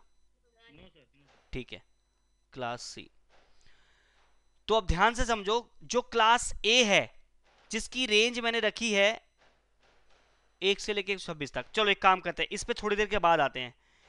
क्योंकि जब तक मैं आपको बाइनरी नहीं सिखाऊँगा तब तक ये समझना मुश्किल है। तो हो सकता है कि आपको बाइनरी आती हो पहले से लेकिन फिर भी समझ लो। थोड़ी देर के बाद इस टॉपिक पे वापस आते हैं। क्योंकि ये टॉपिक मैं डायरेक्टली समझाऊँगा विल गॉट कंफ्यूज तो मैं सबसे पहले आपको बाय यहाँ पे क्या बता रहा हूँ? बाइनरी कन्वर्जन बाइनरी को कैसे कन्वर्ज किया जाता है? ठीक है? यानी अगर डेसिमल में अगर आपको वन लिखना है तो आप ऐसे लिखोगे। इसी को अगर मुझे बाइनरी में लिखना है और बाइनरी में अगर आठ बिट को यूज़ करते हुए बाइनरी लिखना है depend on the size of bit तो मेरा एक ऑक्टेट आठ बिट का है। तो मैं आठ बिट को यूज़ करते हुए नंबर्स को लिखूँगा, क्योंकि उस आठ बिट के जो ऑक्टेट है, जो एक ऑक्टेट का साइज़ आठ बिट है, उसके अंदर मिनिमम ज़ीरो होगा मैक्सिमम वन होगा। सॉरी मैक्सिमम 255 होगा। तो ज़ीरो को भी अगर मुझे लिखना है तो आठ बिट में लिखना होगा। या 255 को भी लिखना तो मुझे आठ बिट में लिखना पड़ेगा। तो कैसे लिखेंगे हम लोग? ये सीख रहे हैं। तो बाइनरी में, सॉरी, डेसिमल में वन हम ऐसे लिखेंगे, बट बाइ अच्छा ज़ीरो कैसे लिखेंगे? पहले ज़ीरो से स्टार्ट करते हैं। स्टार्टिंग तो ज़ीरो से ही होती है ना? तो ये डेसिमल में ज़ीरो है। दिस इज़ द डेसिमल अगर मुझे इसको बाइनरी में लिखना है तो कैसे लिखूँगा? एक, दो, तीन, चार, पाँच छ सात, आठ। आठ ज़ीरो कर दूँगा तो मतलब डेसिमल में एक ज़ीरो होगा बाइनरी में उसको आठ बिट में आठ बार ज़ीरो में लिखने होगा। कलर चेंज कर लेते हैं ब्लू कर लेते हैं। अगर मुझे वन लिखना हो तो मैं डेसिमल में वन ऐसे ही लिखता हूँ। बाइनरी में लिखूँगा तो एक, दो, तीन, चार, पाँच छ सात, आठ। क्योंकि ज़ीरो और वन से ही मुझे सब कुछ लिखना है तो बाइनरी में वन ऐसे होगा। अगर मुझे टू लिखना है डेसिमल में तो I will like this binary में लिखना हो ये बाइनरी में टू है। One two three four five six six zero फिर वन फिर zero this the binary two how I write three under decimal like this but इसी को मुझे बाइनरी में लिखना है। बाइनरी में ये सिक्स है। सॉरी uh, थ्री है। तो क्वेश्चन है कि मैंने कैसे लिखा? तो इसको लिखने के लिए हम बेसिकली क्या करते हैं? एक फॉर्मूले को हम लोग लिखते हैं। फॉर्मूला क्या है? इसको बोलते हैं हम प्लेस वैल्यू प्लेस वैल्यू हम एक प्लेस वैल्यू का फॉर्मेट यूज़ करेंगे और उसके बेसिस पे we will calculate the binary numbers तो प्लेस वैल्यू मैं आपके सामने लिख रहा हूँ। और प्लेस वैल्यू मुझे लिखनी है आठ बिट के लिए। क्योंकि मेरा एक साइज़ ऑक्टेट का है, आठ बिट का है।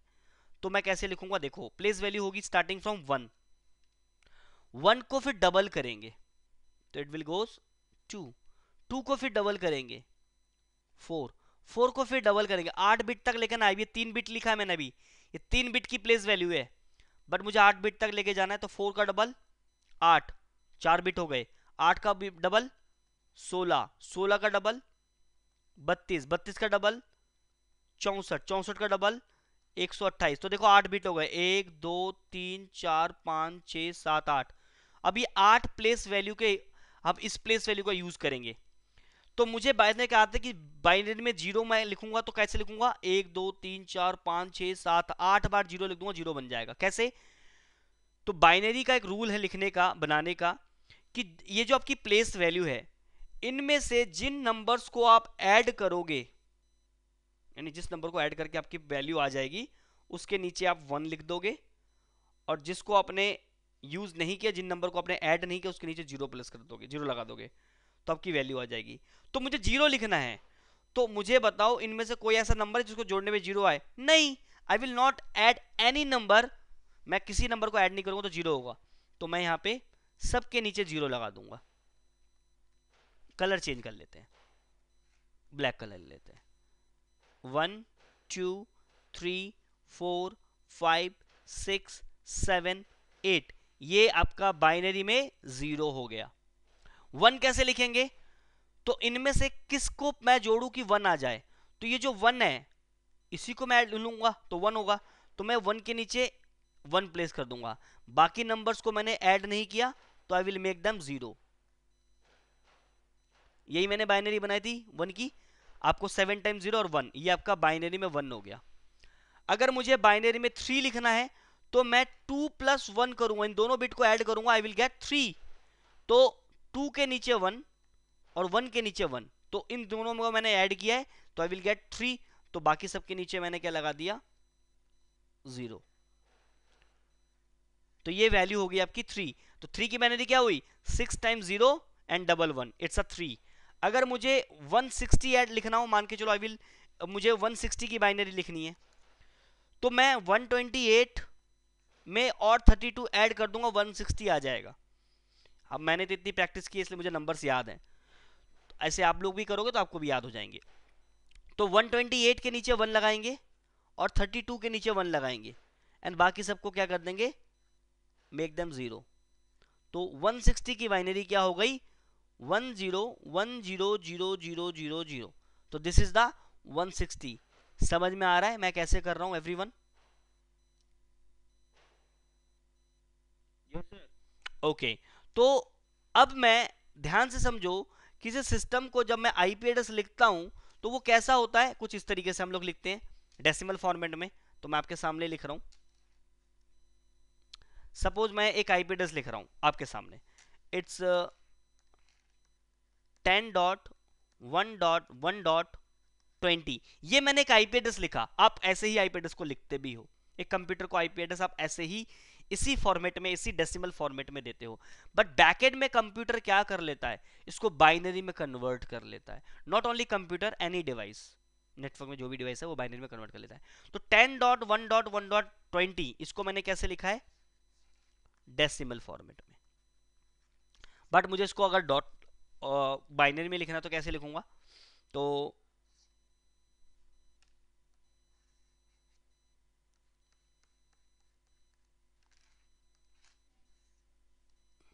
अब मेरे को तो प्लेस वैल्यू याद है तो मैं आपके सामने लिख देता हूँ, ध्यान से देखना। टेन की बाइनरी क्या होगी? तो ये होगा हमारा वन, ये होगा टू, जो कलर चेंज कर लेते हैं। मैं प्लेस वैल्यू के सामने लिख देता हूँ मैं। One, two, three, four, five, six, seven, eight, ठीक है। तो ये हो गया हमारा एक मिनट देना और। One, two, three, four, one, two, three, four, five, six हो सेवन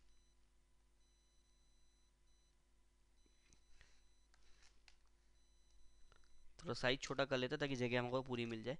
थोड़ी जगह की कमी हो जाती है। तो इसको यहाँ पे करके हाँ वन टू थ्री फोर ठीक है? तो टेन वन वन ट्वेंटी इसको लिखना है। तो पहले ऑक्टेट में हमें टेन लिखना है, दूसरे ऑक्टेट में वन तीसरे ऑक्टेट में one and third octet fourth octet में हमें ट्वेंटी लिखना है। तो बाइनरी में कैसे लिखेंगे? तो पहले प्लेस वैल्यू लिख देता हूँ, वो फॉर्मूला अगर आपको अभी तो याद नहीं हो तो फिर लिख देता हूँ। One two four eight sixteen thirty two adjust कर लेना। Sixty four one twenty eight तो मुझे टेन की बाइनरी लिखनी है। तो टेन की बाइनरी क्या होगी? आठ और दो को जोड़ने पे टेन हो जाएगा। बाकी ज़ीरो हो जाएगा।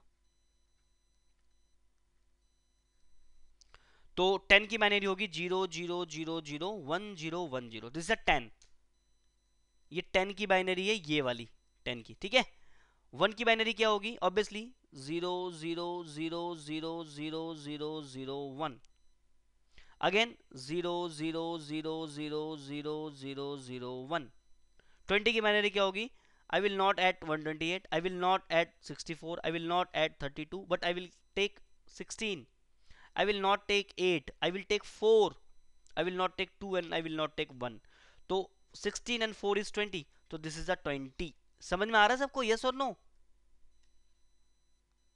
सबको समझ में आ रहा है गाइस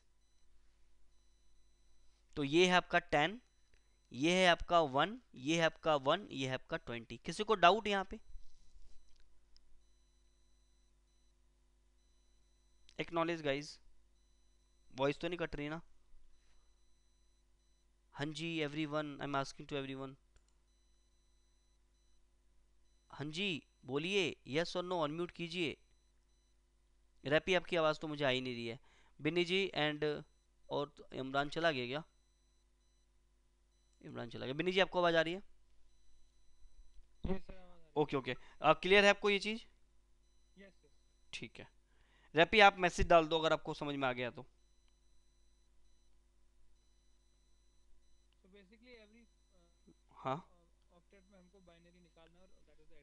डेफिनेटली ऐसा ही होता है बाइनरी में इसे निकालते हैं। तो कल को अगर बाइनरी में निकालना पड़े और आपके पास मान के चलो कि एग्ज़ाम में अगर आपके पास आ जाए तो आपको कैसे कैलकुलेट करना है, सही आंसर पे कैसे टिक मारना है, वो आपको आनी चाहिए कैलकुलेशन ठीक है? एग्ज़ाम में यही आते हैं जो मैं आपको पढ़ा रहा होता हूँ। ठीक है? तो कुछ भी बाहर से नहीं आएगा। तो अगर आप कोई छोटी छोटी चीज़ों की प्रैक्टिस करोगे तो डेफिनेटली आप एग्ज़ाम क्रैक कर जाओगे। ठीक है? कर लोगे, कोई प्रॉब्लम ही नहीं है। एक सेकेंड। चलो। तो समझ में आया आपको? विनी जी क्लियर है? और रेपी आपको भी क्लियर है? ठीक है। और रेपी की आवाज़ आ नहीं रही। चलो आले, आलिम चले गए थे वापस आ गए। ठीक है कोई दिक्कत नहीं। ठीक है। So this is the address to how to write a in the decimal format now अब क्वेश्चन वापस उसी पे आ जाते हैं। कि मैं कैसे जैसे कि आपको बताया था कि क्लास ए के अंदर जो आपकी रेंज होती है which is from zero to one twenty six why why class A range from zero to one twenty six logic बताओ। Sorry not one twenty six it's one twenty seven it's a range from zero to one twenty seven तो आपके जो आईना है, आईना आई A N A आईना। तो आईना ने क्या किया है? जो क्लास ए है ना इसके ऑक्टेट का जो पहला जो ऑक्टेट है, उसका जो पहला जो बिट है, उसको ज़ीरो को फिक्स किया है। ये ज़ीरो है, ये चे भी चेंज नहीं होगा। तो in class A in the first octet, first bit always zero is fixed. इस ज़ीरो को आप वन नहीं कर सकते, ये फिक्स्ड है। बाकी जो सेवन जो बिट्स, जो जो आपके बिट्स हैं you can modify in yourself आप उसको कर सकते हो। ठीक है? अभी हम इस पर थोड़ी देर में आते हैं। तो और क्लास एक बी की बात करूँ तो पहले बिट जो है वो वन है और सेकंड बिट ज़ीरो ये फिक्स है। It's not a ten first bit is one and second bit is zero ये फिक्स है। इसको आप चेंज नहीं कर सकते। बोलोगे, हाउ? तभी तो वो रेंज निकल के आएगी। अभी समझ जाओगे। तो ऐसे ही क्लास सी के अंदर जो पहला ऑक्टेट बिट है वो वन है सेकेंड बिट भी वन है and third bit is zero अब ध्यान से समझना। ये आपकी फिक्स बिट्स होती हैं। You can not modify this bit ये बिट आपके फिक्स रहेंगी। अब ध्यान से समझो, हम क्लास ए की बात करते हैं। तो अगर मैं ये जो पहला बिट है ज़ीरो उसको तो मैं ज़ीरो उसको तो चेंज कर नहीं सकता।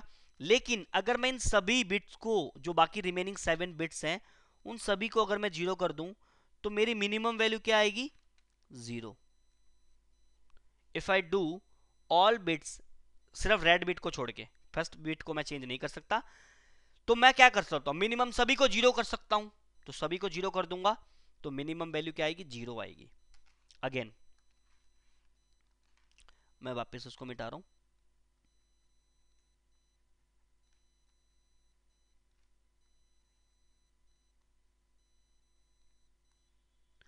अगर मैं इन सभी बिट को वन कर दूँ या तो मैं ज़ीरो कर सकता हूँ या तो मैक्सिमम वन कर सकता हूँ। इसके बीच में तो मैं कर ही सकता हूँ। लेकिन मैं मिनिमम ज़ीरो कर सकता हूँ सातों बीटों को, या मैं मैक्सिमम सभी सातों बीटों को वन करूँगा। देखो, लाल वाले को मैं चेंज नहीं कर सकता because it's a fix bit but I can change remaining seven bits either I will set a zero I will a maximum I will set a one तो ज़ीरो करेंगे तो मिनिमम ज़ीरो आती है, लेकिन सभी को अगर वन कर दूँ, अब इनको प्लस करो, इनकी प्लेस वैल्यू को। तो ये आपका वन था, ये आपका टू था, ये आपका फोर था ये आपका एट था ये आपका सिक्सटीन था ये आपका थर्टी टू था और ये आपका सिक्सटी फोर था। अगर आप इन सभी को ऐड कर दो, sixty four, thirty two, sixteen, eight, four, two, one, you will get 127 that is why in class A, minimum range is 0 maximum I got 127 because these are the host bit. ये यहाँ पे आपको कुछ नहीं करना, आपको पहले बिट जो पहला जो ऑक्टेट है नॉट बिट पहला जो ऑक्टेट है, उसी ऑक्टेट के बेसिस पे तो मैं क्लास डिफाइन कर रहा हूँ ना। तो पहले वाले ऑक्टेट के अंदर जो क्लास ए है, उसकी जो पहली बिट है it is always set zero again अगर आपके पास एग्ज़ाम में ये पूछा जाए what is the fix correct fix bit value of class B और आपके पास इस चार ऑप्शन हो तो correct bit is one and zero keep in mind ये पता होना चाहिए आपको। ये ही एग्ज़ाम में आते हैं। और लोगों को लगता है कि सीसीएनए का एग्ज़ाम हार्ड है। क्यों हार्ड है? क्योंकि ये छोटी छोटी जानकारी आप छोड़ देते हो याद नहीं रख पाते मैं आपकी बात नहीं कर आप कर देते हो मैं लोगों की बात करूँ जो लोग कहते हैं कि सीसीएनए क्योंकि लास्ट अभी मैं मेरा बैच चल रहा है उसमें किसी ने पूछा था आ, कि सर सीसीएनए का एग्ज़ाम सुना है बहुत हार्ड होता है कोई पास नहीं कर सकता। मैंने कहा ऐसे किसने बोला कि दुनिया पास कर रही है? और जिनसे पास नहीं हो रहा है क्योंकि उनके अंदर ये छोटी छोटी इन्फॉर्मेशन की कमी है। और एग्ज़ाम में कुछ भी बाहर से नहीं आता है। जो बुक मैं पढ़ाऊँगा, उसी में से ही आता है। और यही चीज़ें आपको क्लियर करती है एग्ज़ाम ठीक है? नेगेटिव मार्किंग कुछ भी एग्ज़ाम में नहीं होता है। ठीक है? लेकिन आपके आंसर जो हैं, वो करेक्ट जितने होंगे, और 80 से मेरे ख्याल से पिचासी, अगर 100 का एग्ज़ाम है तो उसमें से आपको 85 लाने होते हैं। आई थिंक एट्टी लाने होते हैं मे भी शायद ऐसे कुछ है। वो मैं आपको करेक्ट बता दूँगा, कितने पासिंग मार्क्स होते हैं। ठीक है? कभी कभी वो चेंज करते रहते हैं। तो वो आपकी ये आसानी होते हैं, तभी तो 85 का रेशो रखा ना 100 में से 80 का। अगर वो होता कि अगर ज़्यादा लोग, अगर ज़्यादा टफ एग्ज़ाम होता तो आपका रेशो रहता कि अगर आपके 100 का अगर एग्ज़ाम है तो अगर आपके 70 60 भी आ रहे हैं 50 मेरा पास है। बट सबको पता है सीज़न को भी पता है कि उनका जो एग्ज़ाम है, वो ज़्यादा टफ नहीं है। बहुत ईजी एग्ज़ाम है। तभी उन्होंने रखा कि हंड्रेड में से अस्सी वाला ही पास हो सकता है। तो जिसके अस्सी नंबर आएँगे, वही पास होगा। बिकॉज़ उनको पता है कि एग्ज़ाम ईजी है। बट एग्ज़ाम ईजी उनके लिए नहीं होता, जिनके लिए ये छोटे छोटे चीज़ें नहीं होती हैं। तो दोबारा मैं बता रहा हूँ, ये क्लास ए का हमारा है। और अगर मैं क्लास बी की बात करूँ तो मैंने बताया कि क्लास बी के अंदर जो पहला बिट है वो वन एंड ज़ीरो फिक्स है। अभी आप गूगल कर लेना, आपको गूगल में भी यही आंसर मिलेगा। लेकिन अगर मैं जो बाकी जो रिमेनिंग सिक्स बिट है, उनको मैं अपने हिसाब से चेंज कर सकता हूँ तो सभी बिट को मैं क्या कर सकता हूँ? ज़ीरो कर सकता हूँ। तो अगर मैं इसको कन्वर्ट करूँ बाइनरी में तो ये क्या है? वन है तो इसकी प्लेस वैल्यू क्या है? वन ट्वेंटी सेवन तो मेरा है ना one twenty seven minimum value और अगर मैं इन सभी को वन कर दूँ if I do all one maximum one ही कर सकता हूँ मैं. तो जब आप ऐड करोगे वन को ऐड करोगे टू को ऐड करोगे फोर को ऐड करोगे and then you will add uh, 8 you will add 16 you will add 32 you will not add 64 because it's a zero but you will add 127 जब आप इनको ऐड करोगे you will get 191 करके देख लेना यही आंसर आएगा. तो that is the range of class B क्योंकि पहली wait one and zero fix है, बाकी को मैं ज़ीरो कर दूँगा तो मेरी वो 127 वैल्यू आ जाएगी, सभी को अगर मैं वन कर दूँ मैक्सिमम तो 191 आ जाएगा। तो this is the range of class B इसी तरीके से क्लास सी की बात करूँ if I do all bits are zero तो ये दो वैल्यू है 128 and 160 sorry 127 and 64 will get 192 127 64 128 होता है सॉरी सॉरी यहाँ पे ना गलत लिखा, किसी ने बोला भी नहीं 128 से स्टार्ट होता है ना। क्योंकि पहला बिट तो 128 होता है ना। 127 कैसे हो सकता है? 128 से 191 तो 128 क्योंकि ये वाला वन होगा, सबको ज़ीरो कर दो तो इसकी प्लेस वैल्यू क्या है? 128 ना तो 128 आ गया मिनिमम सबको वन कर दूँगा विल गेट 191 तो this is the minimum value 128 class B का 191 मैक्सिमम वैल्यू है। क्लास सी का अगर मैं करूँ तो 192 इन दोनों को ऐड करूँगा विल गेट 192 और अगर मैं इन सभी को वन वन कर दूँ, उन सभी को मैं वन वन कर दूँ तो one two four eight sixteen not L thirty two I add sixty four and one twenty one twenty eight add करूँगा। तो ये निकलेगा टू ट्वेंटी थ्री करके देखे ना यही निकलेगा। तो दिस इज़ द रेंज तो how the range are like look like this तो आप उसके सामने ये टेबल बनाना और बोल देना कि ये जो बेट था ये फिक्स है that is why one range of 128 minimum range is 120 191 is the maximum uh, range of class B तो आप बोल सकते हो ये टेबल बना के ही। जब आप उसको फिक्स वैल्यू बताओगे तभी समझ पाएगा हाँ आपको पता है। गॉट इट सबको समझ में आ रहा है? ऊपर से तो किसी के दब जा नहीं रहा टप्पा तो नहीं मार रहा बाउंस बैक ऐसा कुछ। हाँ जी बिन हाँ ओके ये बिनी जी की आवाज़ थी? ओके। बाकी लोगों को भी आवाज़ आ रही है मेरी और आलिम आलिम समझ में आ रहा है? ओके गुड ठीक है। रैपी आपको भी आ रही है, एक बार मैसेज ड्रॉप कर देना, आपको तो आवाज़ ही मुझे सुनने को नहीं मिल रही। ठीक है? तो आप मैसेज ड्रॉप कर दो हाँ आपको समझ में आ रहा है। यस ओके ठीक है गुड ठीक है? छोटे छोटे टॉपिक्स है, बहुत ईजी टॉपिक है। बस आपको इसको दोबारा रिकॉल करना है, दोबारा पढ़ना है, दोबारा रिविजन करना है, आपका कॉन्सेप्ट क्लियर हो जाएगा ना तो एग्ज़ाम क्रैक करने में कोई दुनिया की ताकत नहीं रोक सकती आपको। ये कॉन्सेप्ट क्योंकि networking all are in the concept and logic जिस दिन कॉन्सेप्ट लॉजिक क्लियर हो गया, उस दिन समझ में आ जाएगा। कुछ चीज़ें रटनी पड़ती हैं ये छोटी छोटी चीज़ें रट भी लोगे तो भी कोई दिक्कत नहीं, लेकिन रटना नहीं, यहाँ पे लॉजिक मैंने बताया। लेकिन कुछ चीज़ें अगर आप ध्यान से करोगे लॉजिक क्लियर करो तो कोई प्रॉब्लम आपको आने वाली, ना तो इंटरव्यू में फेल हो पाओगे और ना ही आप कभी एग्ज़ाम में फेल हो पाओगे। इतना ईजी होता है नेटवर्किंग तो this is the range of class A and B and C तो आप अगर यही गूगल करोगे ना तो आपको सेम आंसर ही मिलेगा। अगर मैं यहाँ पे गूगल पे जाऊँ एक सेकेंड देना। पे अगर मैं यहाँ पे डालूं fix value of IP addresses in classes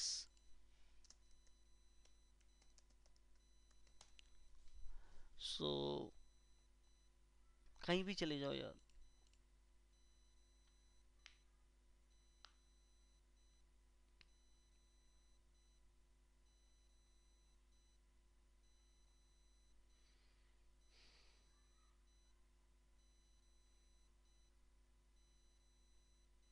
You can see. In class A zero is bit fix हाँ हाँ बोलो बोलो। हाँ हाँ। हाँ वो बताऊँगा वो बताऊँगा अभी बताऊँगा वो भी उसके ऊपर अभी थोड़ी देर में आता हूँ। अभी तो सर रेंज लिखवाई है ठीक है? है ना वो इसके ऊपर भी आते हैं कि कौन से आप ही आई पी आप यूज़ कर सकते हो कौन सा यूज़ नहीं कर सकते वो भी हम आते हैं ठीक है? तो यहाँ पे आप देखो कि ज़ीरो क्लास के अंदर ज़ीरो फिक्स है ठीक है लिखा हुआ ना? I P class A range from one dot zero one twenty six why because the first zero is fix उसके बाद सात बिट आपके नेटवर्क के लिए होते हैं। सात बिट नेटवर्क का होता है ज़ीरो बिट आपके फिक्स होते हैं। ठीक है नेटवर्क बिट्स कितने होते हैं नेटवर्क में? आईपी ए क्लास ए के अंदर सात बिट बोलना, आठ बिट मत बोलना। आठ बिट होते हैं, लेकिन प्रैक्टिकली सेवन बिट्स होते हैं जो रेंज जिससे आप रेंज निकाल सकते हो। ठीक है? थोड़ी देर में आते हैं इस चीज़ के ऊपर। ठीक है? हम क्लास बी की बात करें तो क्लास बी का पहला जो है, वो वन है एंड सेकेंड इज़ ज़ीरो चौदह बिट आपके नेटवर्क के लिए फिक्स होते हैं। ठीक है? और अगर हम इसी की बात करें इन क्लास सी तो क्लास सी के अंदर वन वन ज़ीरो जैसे मैंने आपको बताया, और तीन बिट तो आपके फिक्स बिट हो गए दिज आर फिक्स बिट बाकी बचे रिमेनिंग 23 बिट जो नेट 21 बिट जो कि नेटवर्क के लिए फिक्स है, और 8 बिट हमारे होस्ट के लिए है। तो ये मैंने आपको बताया क्लास डी के अंदर ऐसे वन वन वन वन होगा। ठीक है लास्ट बिट ज़ीरो और इसमें one one one one one one होगा सारे, ठीक है? तो सेम है, उसमें ज़ीरो होता है, फिर वन ज़ीरो होता है क्लास बी के अंदर क्लास सी के अंदर वन वन ज़ीरो होता है क्लास डी के अंदर वन वन वन ज़ीरो होता है क्लास ई के अंदर वन वन वन वन होता है। ठीक है, ये होता है, ठीक है? चलो तो this is the class D and E ठीक है? चलो, ये बहुत अच्छी वेबसाइट है, अगर इसको भी आप गो थ्रू कर सकते हो, जो मैं पढ़ा रहा हूँ, वो भी मिलेगा आपको, ठीक है? चलिए, अब क्वेश्चन ये आता है कि जो मेरी क्लास ए है gig for gate gig for gate gig for gigs organization बहुत अच्छी वेबसाइट है, आप यहाँ से भी आप अपना नोट्स वगैरह बना सकते हो, ठीक है? जो मैं पढ़ा रहा हूँ वही मिलेगा आपको। और ऐसा नहीं कि मैं इसको देख के पढ़ा रहा हूँ तो मैंने जस्ट वेबसाइट पे क्लिक किया, खुल गया। चीज़ें वही होती हैं, ठीक है? किसी भी बुक्स में जाओ, बस आपको थोड़ा सा समझाने का तरीका, वो थोड़ा सा ऐसा होता है। तो ये थोड़ी अच्छी बाइट मैं साइट मानता हूँ, क्योंकि इसकी जो लैंग्वेज है, वो काफ़ी ईजी होती है, ठीक है? तो इस तरीके से, ठीक है? देख लेना एक बार। और बाकी तो मैं अपने भी नोट्स आपको दूँगा साथ साथ में एक आई बुक्स जो है मैं बार बार बोलता हूँ, भूल जाता हूँ। तो आज मैं आपको कोशिश करता हूँ वाला बुक आपको ड्राइव पे डालने के लिए मतलब व्हाट्सएप ग्रुप पे डालने के लिए, ठीक है? चलिए, अब कंटिन्यू करते हैं। जो नेक्स्ट टॉपिक है विच इज़ जो हम बात कर थे अभी क्या हाँ रेंज की। तो क्लास रिकॉर्डिंग चल रही है ना? या। क्लास ए की अगर मैं बात करूँ तो क्लास ए के अंदर जो रेंज है, वो रेंज क्या है? From zero to one twenty six लेकिन सॉरी वन ट्वेंटी सिक्स नहीं वन ट्वेंटी सेवन ठीक है? बट जो ज़ीरो वाली जो ऑक्टेट है, जो ज़ीरो वाला है, जो रेंज है which is zero dot zero dot zero dot zero चारों में ज़ीरो होगा, ये जो है, ये आपका रिज़र्व है. ज़ीरो वाला जो पूरा ऑक्टेट है, वो रिज़र्व है क्लास ए के अंदर. और 127 dot zero dot zero dot zero ये भी आपका रिज़र्व है। क्लास ए के अंदर ये भी आपका रिज़र्व है। नाउ सी तो ये जो ज़ीरो ज़ीरो ज़ीरो वाला जो रिज़र्व है, ये आपका डिफ़ॉल्ट राउट के लिए रिज़र्व है। It's a reserve for default route what is the default route वो हम लोग प्रैक्टिकल में भी करेंगे। और मैं पढ़ाऊँगा भी। ठीक है? बिन्नी जी को पहले से पता है, क्योंकि बिन्नी जी मेरे लास्ट क्लास में भी ज्वाइन कर, उनको आता है। डिफ़ॉल्ट रूट के बारे में थोड़ा बहुत पता होगा। नहीं पता होगा तो हम लोग पढ़ेंगे आगे चल के। बट 127 जो होता है, ये लूप बैक के लिए एड्रेस ये लूप बैक के लिए रिज़र्व है। Reserve for reserve for loopback address loopback और लोकल होस्ट लोकल होस्ट के लिए भी बोल सकते हो उसको। या तो लोकल होस्ट बोल सकते हो या लूप बैक। आज आपको मैं एक ऐसी चीज़ बताने जा रहा हूँ, जो शायद आपको YouTube में नहीं मिलेगा। और मैं आपको बताऊँ कि मैक्सिमम जो टीचर होते हैं, वो 127 किस लिए यूज़ होता है, उसका लॉजिक क्या बोलते हैं कि अगर मैं इस 127 के ब्लॉक के किसी भी आईपी को अगर मैं पिंग करूँगा अब आईपी एड्रेस को कैसे अलोकेट करता है, वो भी हम आगे पढ़ेंगे। डेफिनेटली आईपी एड्रेस अभी खत्म नहीं हुआ है। आईपी एड्रेस आपको कम से कम तीन चार क्लास तक लेके चलूँगा मैं, ठीक है? क्योंकि आईपी एड्रेस एक ऐसे कॉन्सेप्ट है ना कि अगर इसकी बारीकी अगर आपको पता नहीं है तो फिर आप नेटवर्क में प्रॉब्लम आपको आएगी। क्योंकि आईपी एड्रेस ही एक ऐसी चीज़ है जिससे आप नेटवर्क में कम्युनिकेशन करते हो। अगर आपका इसी में अगर आपको नॉलेज में अगर कहीं कमी रह गई तो कह लो कि नेटवर्क का जो पहला जो स्टेप है, वहीं पे आप फेल हो गए। बाकी की चीज़ तो बात की बात है राइट तो आईपी एड्रेस यानी अगर आपको अगर कोई कार चलानी है तो आपको अगर स्टेयरिंग या फिर आपको बाइक के हैंडल ही समझ, पकड़ में ढंग से आपकी नहीं है तो क्या होगा? एक्सीडेंट होता है और क्या होगा? तो ऐसे ही आपको कह लो कि नेटवर्क में अगर ये छोटी छोटी स्टार्टिंग है, जो आपको ये चीज़ बारीकियाँ नहीं पता होगी तो आपको आगे जाके प्रॉब्लम क्रिएट करेगा। तो इसलिए हम एड्रेस को डिटेल में समझेंगे। तो आपको मैं बताया कि जैसे ये जो 127 वाला जो एड्रेस है ब्लॉक है जो, ये लूप बैक के लिए होता है। और अगर आप इनमें से किसी आईपी को, इस ब्लॉक के किसी भी आईपी को अगर आप पिंग करते हो जो पहली आईपी होगी विच इज़ 127 0.0.1 ये स्टार्टिंग आईपी पहली आईपी वन होगी। तो अगर आप इस ब्लॉक के किसी भी आईपी को अगर आप पिंग करोगे, अपने लैपटॉप में रियल लैपटॉप पे you will get the reply और अगर रिप्लाई मिलता है तो हमें ये सुनने को मिलता है, ज़्यादातर ट्रेडर हमें ये बोलते हैं कि जो आपका एनआईसी कार्ड है, वो आपका ठीक है। मतलब मेरे लैपटॉप में जो एनआईसी कार्ड लगा हुआ है, अभी तो मैं वाईफाई से कनेक्टेड हूँ। तो अगर मैं पिंग करता हूँ 127.0.0.1 को I will get the reply if I ping any IP of in this block I will get reply ये आईपी एड्रेस का कोई डिवाइस मेरे नेटवर्क में लगा हुआ नहीं है। बट मैं अगर पिंग कर रहा हूँ dot zero dot zero dot suppose मैं zero dot one dot one ninety nine इसको भी पिंग करूँगा रिप्लाई मिलेगा। सॉरी मैंने पिंग नहीं लिखा आगे sorry I will get reply what you mean by that इसका मतलब ये नहीं है कि मेरा जो वाईफाई अडेप्टर मेरे नेटवर्क में लगा हुआ है, क्योंकि we are connected with wifi मैं वाईफाई से ही कनेक्टेड हूँ अपने लैपटॉप के। मतलब इसका ये नहीं है कि मुझे रिप्लाई मिल रहा है तो मेरा वाईफाई नेटवर्क यानी जो मेरा वाईफाई का जो एन कार्ड मेरे लैपटॉप में लगा हुआ है, या अगर मैं डेस्कटॉप से पिंग कर रहा हूँ इस आईपी को और मेरे को रिप्लाई मिला, इसका मतलब ये नहीं कि जो मेरे डेस्कटॉप में जो लैन कार्ड लगा हुआ है, वो ओके है।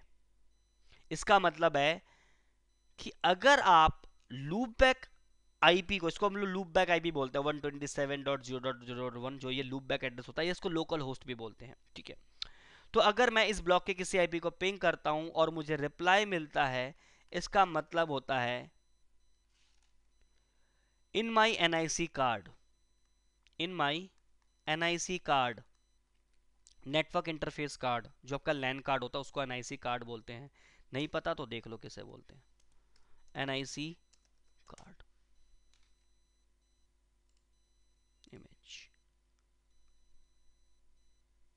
ये एनआईसी कार्ड होता है दिस इज़ एनआईसी कार्ड जो आपके लैपटॉप में या फिर इंटरनल लगा होता है और इसी के अंदर आप क्या लगाते हो? अपने लैन केबल को कनेक्ट करते हो। This is the NIC card this is the NIC card ये एक्सटर्नल एनआईसी कार्ड होता है बेसिकली बट ये एनआईसी कार्ड होता है जो आपके लैपटॉप में या डेस्कटॉप में लगा होता है और इस तरह से पोर्ट होता है जहाँ पे अपना लैन केबल को कनेक्ट करते हो। तो this is the NIC card network interface card NIC का मतलब है network interface card this is interface जिसके थ्रू आप नेटवर्क से कनेक्ट होते हो। तो नाउ इसका मतलब इन माई एनआईसी कार्ड जो मेरा नेटवर्क एनआईसी कार्ड है, जो हार्डवेयर है, जो जो पर्टिकुलर पोर्ट है in my NIC card TCP IP stack ये प्रोटोकॉल है। टीसीपी आईपी क्या एक? प्रोटोकॉल अब ये वो टीसीपी यूडीपी की बात नहीं कर रहा हूँ, ये टीसीपी आईपी मैं अभी थोड़ी देर में बात करूँगा कंसेप्ट समझ में आ जाएगा, अभी सिर्फ़ सुनो। ये एक प्रोटोकॉल है, जो मेरे इस एनआईसी कार्ड पे चल रहा है। This TCP IP stack is proper working is proper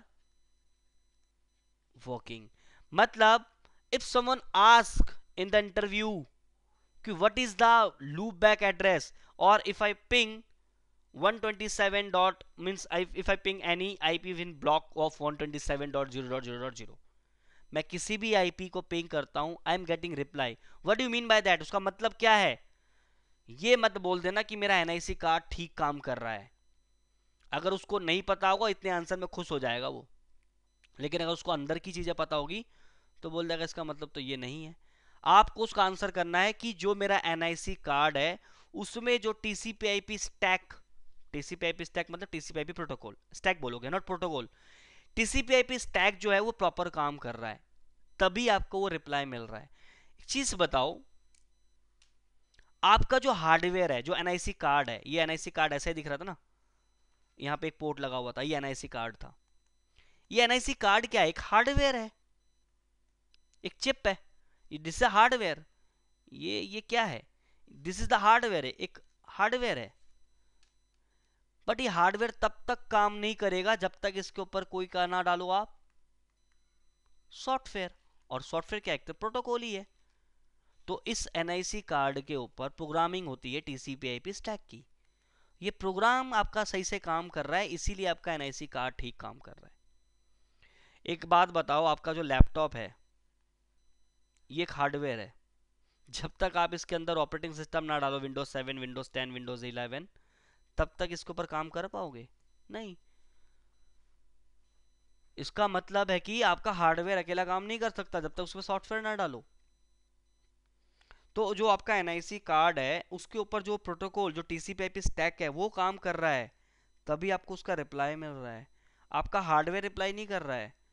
यानी जो आपका एनआईसी कार्ड ठीक काम कर रहा है, वो कर रहा है, इसलिए कर रहा है क्योंकि उसके ऊपर बैठा हुआ प्रोटोकॉल काम कर रहा है।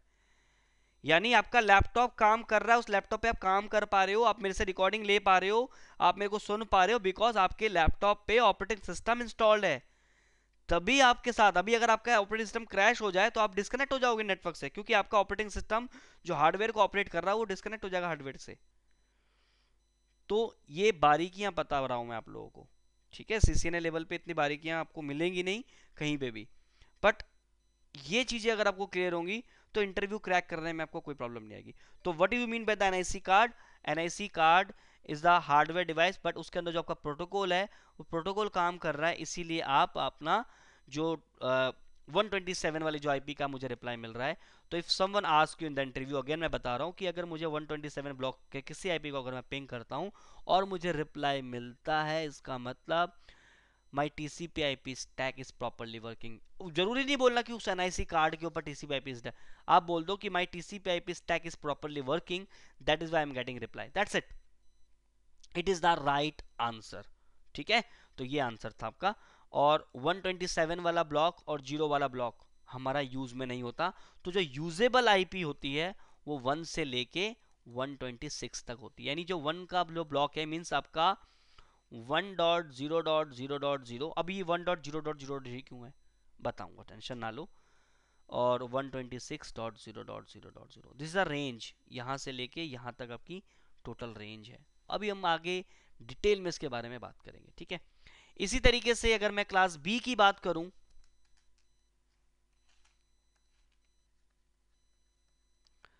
क्लास बी की बात करूँ तो क्लास बी में आपका 169 dot two fifty four dot zero dot zero से लेके 169 dot two fifty four dot two fifty five dot two fifty five आप ये बोल सकते हो कि जो आपका one sixty nine dot two fifty four dot zero dot zero जो ब्लॉक है this is the block size है ना ब्लॉक ये? ये जो पूरा का पूरा ब्लॉक है, ये रिज़र्व है आपके अपीपा के लिए। It is a reserve for APIPA. This block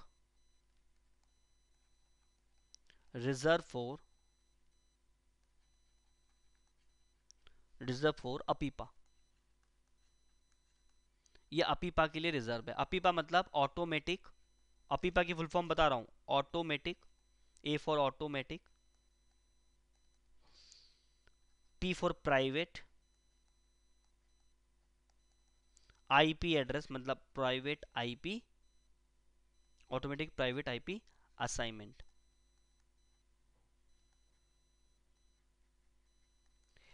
A for automatic P for private और A for automatic P for private IP पूरा बोलेंगे और A for assignment this is the full form of APIPA अगर interview में तो कोई नहीं पूछेगा एग्ज़ाम में आ सकता है what is the full form of APIPA बता दिया, ठीक है? फुल फॉर्म सारे याद कर लेना कभी कभी इंटरव्यू में एग्ज़ाम में आ जाता है, ठीक है?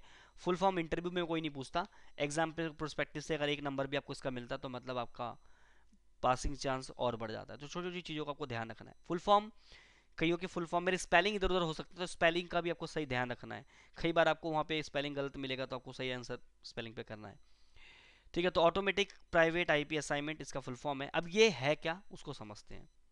देखो आप नेटवर्क में किसी भी कंप्यूटर को, किसी भी राउटर को, किसी भी स्विच को, किसी भी डिवाइस को आईपी देते हो। ठीक है? तो कहने का मतलब ये है कि आपका जो ये सिस्टम है, ठीक है?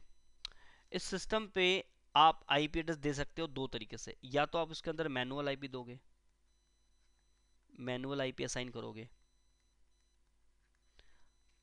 या आप मैनुअल नहीं दोगे, अगर नहीं देते तो दूसरा ऑप्शन क्या है? आपके पास ऑटोमेटिक तो मान के चलो कि आपका एक एक कंप्यूटर है, जो नेटवर्क में कनेक्टेड एक स्विच के साथ. ठीक है? और इस नेटवर्क में, इस कंप्यूटर को आपने मैनुअल आईपी एड्रेस नहीं दिया. मैनुअल आईपी एड्रेस नहीं दिया. और आपने बोला कि जो आईपी एड्रेस है, वो आप ऑटोमेटिकली ले लो। आपने बोला, मैं आपको मैनुअल आईपी नहीं दे रहा हूँ, मैं आपको ये बता रहा हूँ कि आप ऑटोमेटिकली आईपी लो। कैसे बताते हो आप किसी कंप्यूटर को ऑटोमेटिकली आईपी लेने के लिए? तो जब आप एनआईसी कार्ड में जाते हो तो सपोज़ मेरा ये एनआईसी कार्ड है, इसके ऊपर राइट क्लिक करके प्रॉपर्टी पे आते हैं। यहाँ पे आपको मिलता है IP protocol version four I P V four जिसको मैं बोलता हूँ। I P V four T C P I P we four है ना? इसकी प्रॉपर्टी पे आते हैं। तो यहाँ पे देखो दो ऑप्शन है आपके पास। अगर आप देखो पहला लिखा आ रहा है यहाँ पे ध्यान से देखो। अरे यार। हम्म, एक सेकेंड ये क्यों नहीं आ रहा? हाँ। देखो एक आ रहा है आपके पास obtain an IP address automatically मैंने इस पर क्लिक किया हुआ है। इसका मतलब है कि मेरा कंप्यूटर क्या करेगा? मेरा कंप्यूटर नेटवर्क में एक डीएससीपी सर्वर होता है डायनेमिक होस्ट कॉन्फ़िगरेशन प्रोटोकॉल आगे चल के सिखाऊँगा इस चीज़ के बारे में। तो डीएससीपी सर्वर से कॉन्टेक्ट करेगा ये, आपका सिस्टम जब आप इस ऑप्शन पे क्लिक करोगे। When you click on this option obtain an IP address automatically इसका मतलब आप कंप्यूटर को बोल रहे हो कि भैया आईपी एड्रेस कहाँ से ले लो? डीएससीपी सर्वर से ले लो नेटवर्क से। तो ये कंप्यूटर क्या करेगा? डीएससीपी सर्वर से रिक्वेस्ट सेंड करेगा। डीएससीपी सर्वर को रिक्वेस्ट सेंड करेगा कि भैया मुझे आईपी दे दो। बट मान के चलो आपके नेटवर्क में कोई डीएससीपी सर्वर नहीं है। और आपने इसको मैनुअल आईपी भी नहीं दिया। आपने बोला कि मैनुअल नहीं दूँगा, आप डीएससीपी से कांटेक्ट कर लो। तो जब आपका सिस्टम डीएससीपी सर्वर से कांटेक्ट करने की कोशिश करता है और नेटवर्क में डीएससीपी सर्वर कांटेक्टेबल नहीं होता है और मैनुअल आईपी आपने दिया नहीं है तो इस कंप्यूटर को नेटवर्क में कम्युनिकेट करने के लिए क्या चाहिए होता है आईपी तो आपका DSCP server contactable DHCP server contactable नहीं है। मैनुअल आईपी एड्रेस आपने नहीं दिया है। इसका मतलब कंप्यूटर क्या करेगा? इस कंप्यूटर के जो ऑपरेटिंग सिस्टम में ऑटोमेटिकली प्रोग्राम किया हुआ है ये चीज़। कि अगर डीएससीपी सर्वर कॉन्टेक्टेबल नहीं है और आईपी एड्रेस मैनुअल भी नहीं दिया है तो आप क्या करो? अपीपा जो आईपी एड्रेस की जो रेंज है, वहाँ से एक आईपी एड्रेस अपने आप असाइन कर लो, अपने ऊपर। मतलब जब आपको काम के लिए कोई बताएगा नहीं, कोई कायम आपको असाइन नहीं करेगा, ना आपको आपको काम का कोई मेल आएगा तो आप क्या करोगे? ऑटोमेटिकली कुछ ना कुछ तो करोगे ना कंपनी में बैठ के, खाली तो नहीं बैठे रहोगे? कुछ ना कुछ तो आपसे घर से करोगे ना? इसीलिए जब आप किसी कंप्यूटर को आईपी एड्रेस आप नहीं देते हो और डीएससीबी सर्वर से कॉन्टैक्ट करने के लिए बोलते हो और डीएससीबी सर्वर से भी कॉन्टैक्ट नहीं हो पाता है, वो कंप्यूटर ऑटोमेटिकली अपने ऊपर आईपी एड्रेस असाइन कर लेता है। कौन से रेंज में से? अपीपा रेंज में से। तो मैं आपको दिखाऊँ ये चीज़ करके। तो मेरे पास एक पैकेट ट्रेसर टूल है, वो मैं आपको सिखाऊँगा आगे चल के, जस्ट इस चीज़ को प्रूव करने के लिए, ठीक है? कि क्या 169 254 ब्लॉक में से भी लेगा। तो जो आईपी एड्रेस असाइन होगा सिस्टम को, वो कैसे होगा, समझो इस चीज़ को। जैसे ये कंप्यूटर है, इसको 169 254 यानी जो स्टार्टिंग के जो दो ऑक्टेट है, वो ऐसे ही रहेंगे। ठीक है? स्टार्टिंग के जो दो ऑक्टेट है, वो यही रहेंगे, लेकिन लास्ट में एक्स डॉट एक्स, यहाँ कुछ भी हो सकता है। There is something, anything. पर जो ब्लॉक में जो स्टार्टिंग के दो ऑक्टेट रहेंगे, उसमें वैल्यू 169 254 रहेगा। कैसे वेरीफाई करेंगे इस चीज़ को? पैकेट ट्रेसर कमांड से।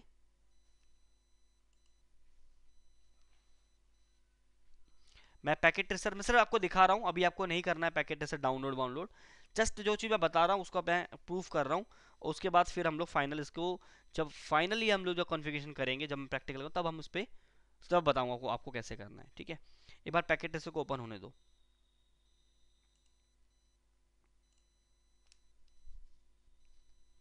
Just a wait.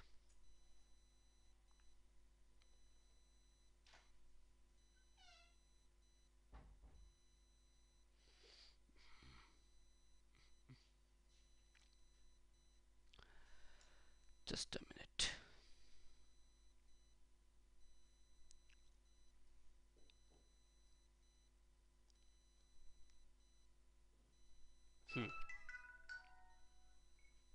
now hmm.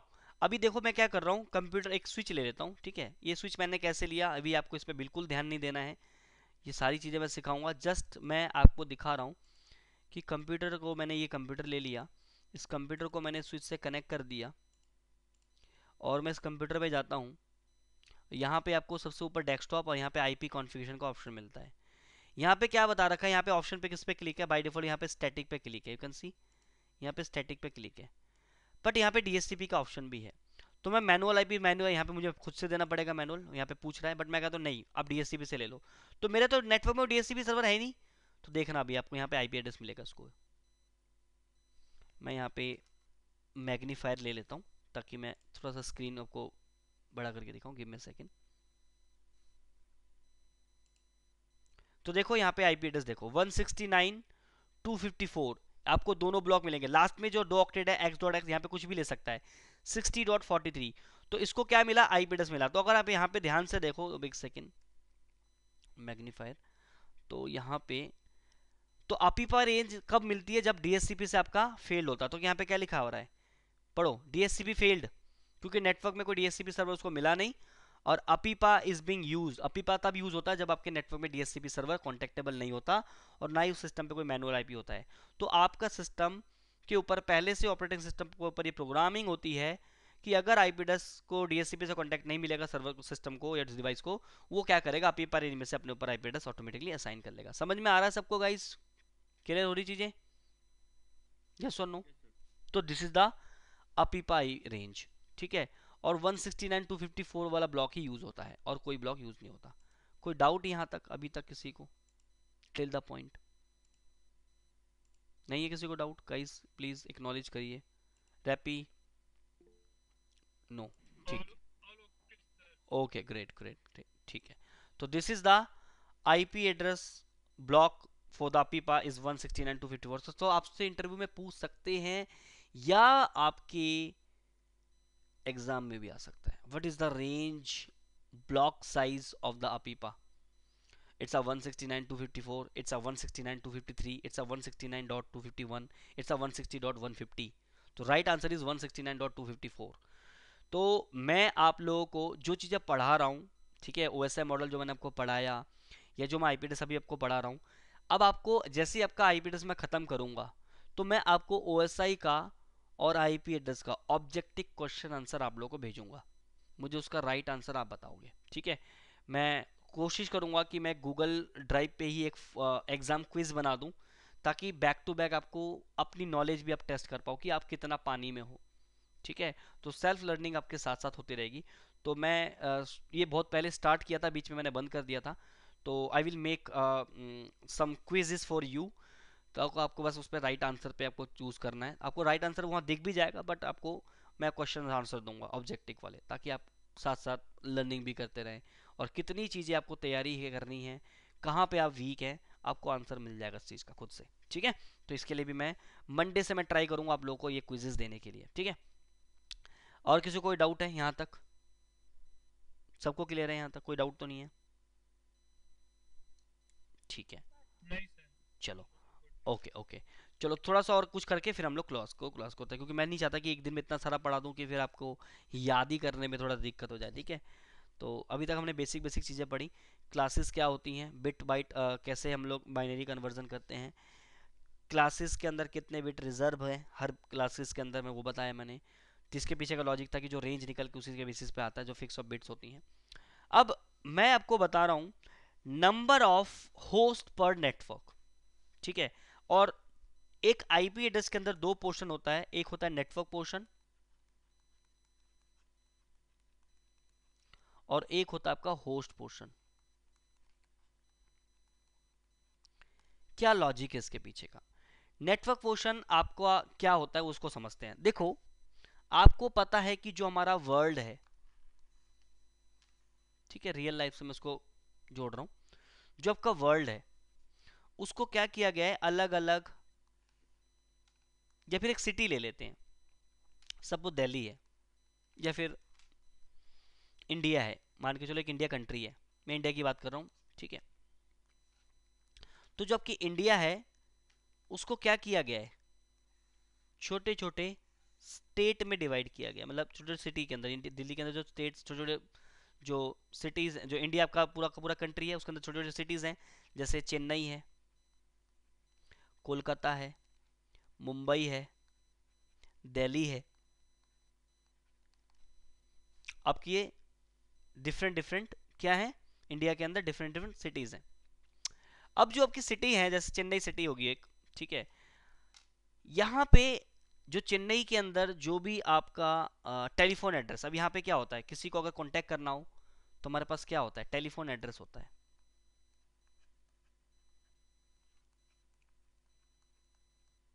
अगर मुझे नेटवर्क में सॉरी मुझे अगर अपने दोस्त से बात करनी है, मैं रहता हूँ दिल्ली में, मेरा एक दोस्त रहता है चेन्नई में तो मुझे अगर अपने दोस्त को कॉल करना है तो मुझे कैसे मैं उसको कॉल कर पाऊँगा? जब मेरे पास उसका क्या होगा? Telephone address I am not talking about mobile number फ़िलहाल मैं मोबाइल नंबर चलो मोबाइल नंबर की बात करो तो मोबाइल नंबर भी आपके एरिया कोड से होता है ना रिप्रेजेंट क्या होता है? एरिया कोड होता है, फिर आपका टेलीफोन नंबर होता है, या फिर आपका मोबाइल नंबर होता है.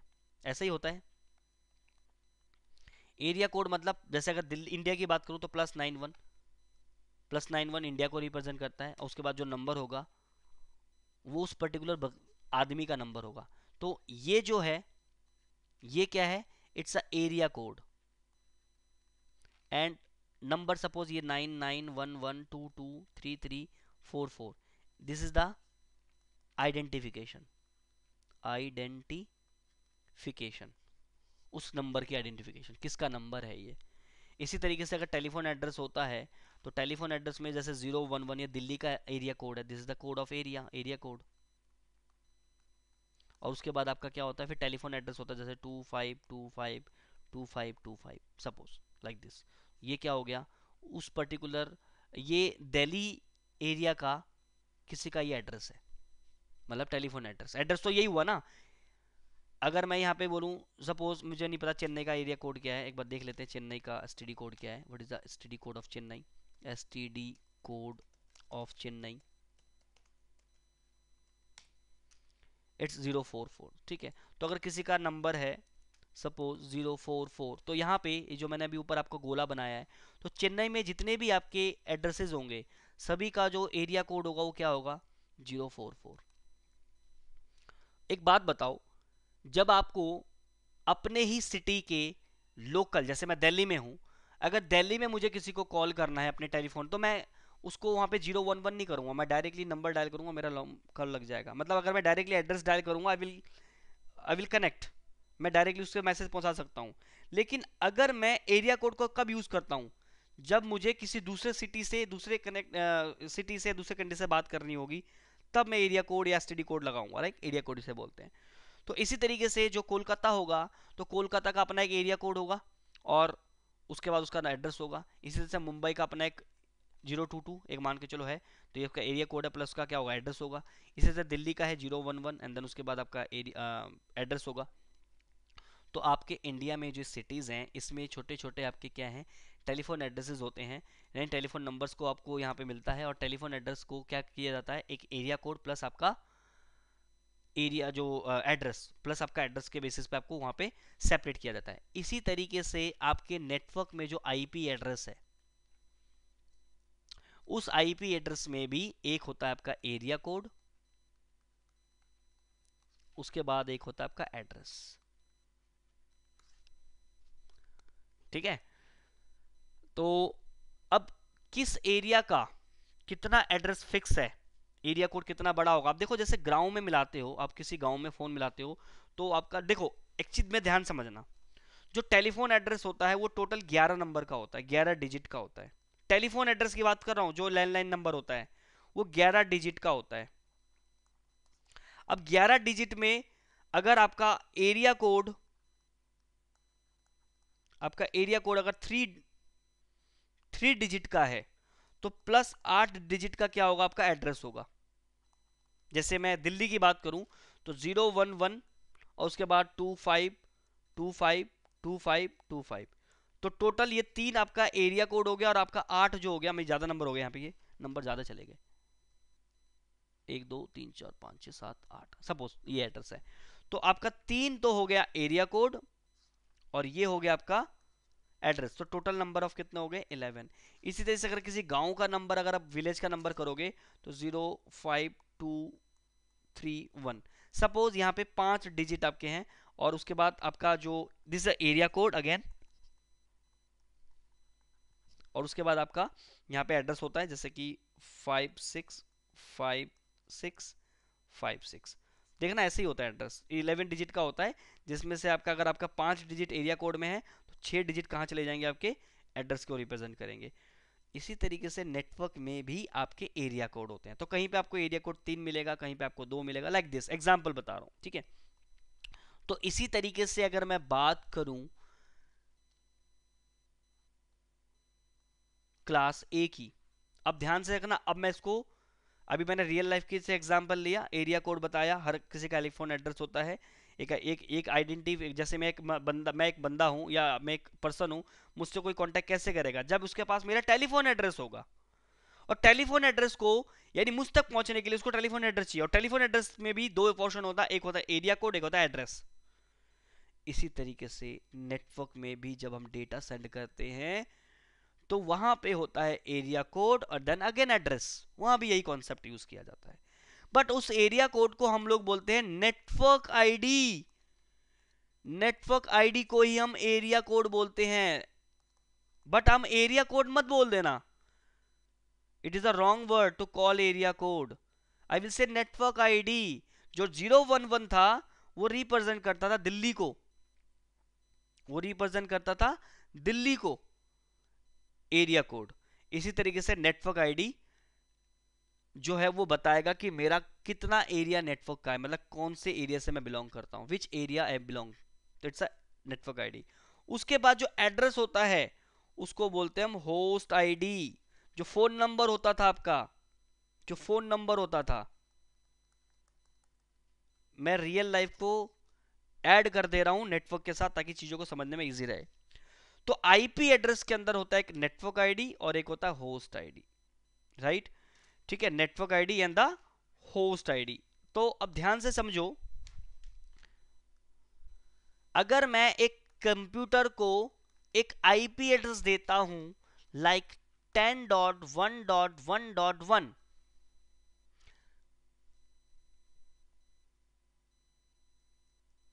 एक सर्कल बना लेते हैं will move clear I make a circle मेरे पास एक कंप्यूटर है I have a computer and I given the IP address is 10.1.1.1 and some another system I have 10.1.1.2 I have another system 10.1.1.3 what do you mean by that?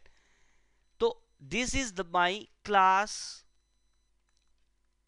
A IP address. This is the IP address of class A. How I can say it's a class A IP address? Because the range is 1 to 126 range is 0 to 127 but 0 I will not use 127 I will not use. So, usable IP address is 1 to 126 and it is the first octet is is come under 1 to 126 तो 1 से 26 के बीच में ही आ रहा तो ये हमारा class ए का एक पर्टिकुलर आईपी एड्रेस है। तो क्लास ए का पहला जो ऑक्टेट है, वो नेटवर्क को रिप्रेजेंट करता है।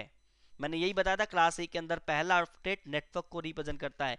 यानी this is the system which is belong from 10 area this is another system it is belong for a same 10 area and this is also a 10 area and this is the address of the is computer so in 10 area the IP address is 1.1.1 ये जो तीन octet हैं ये इसका address है और ये आपका नेटवर्क एरिया आईडी है तो इसको बोलते हैं हम network portion this is the network portion and this is the host portion host portion is the address of the device and network portion is the area of the particular network क्या area है ऐसे ही मेरा ये एक system है जिसका IP क्या है 10.1.1.2 mean this is the system which is belong from 10 network 10 area and IP address in the address of the system is 1.1.1.2 you know very well कि एक सिटी के अंदर दो पर्सन है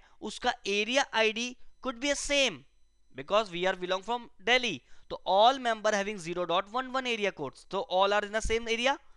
But address are always will be different ऐसा नहीं है कि मेरा फ़ोन नंबर तुम्हारा फ़ोन नंबर सेम होगा so the area code is plus nine one it's represent India तो every one in India having plus nine one area code and what is the following the phone number तो phone number किसी का same नहीं होगा तो plus nine one suppose मेरा है और मेरा नंबर मेरा आई फ़ोन नंबर है, फिर एक पर्सन है प्लस नाइन वन और उसका भी सेम उसका नंबर है।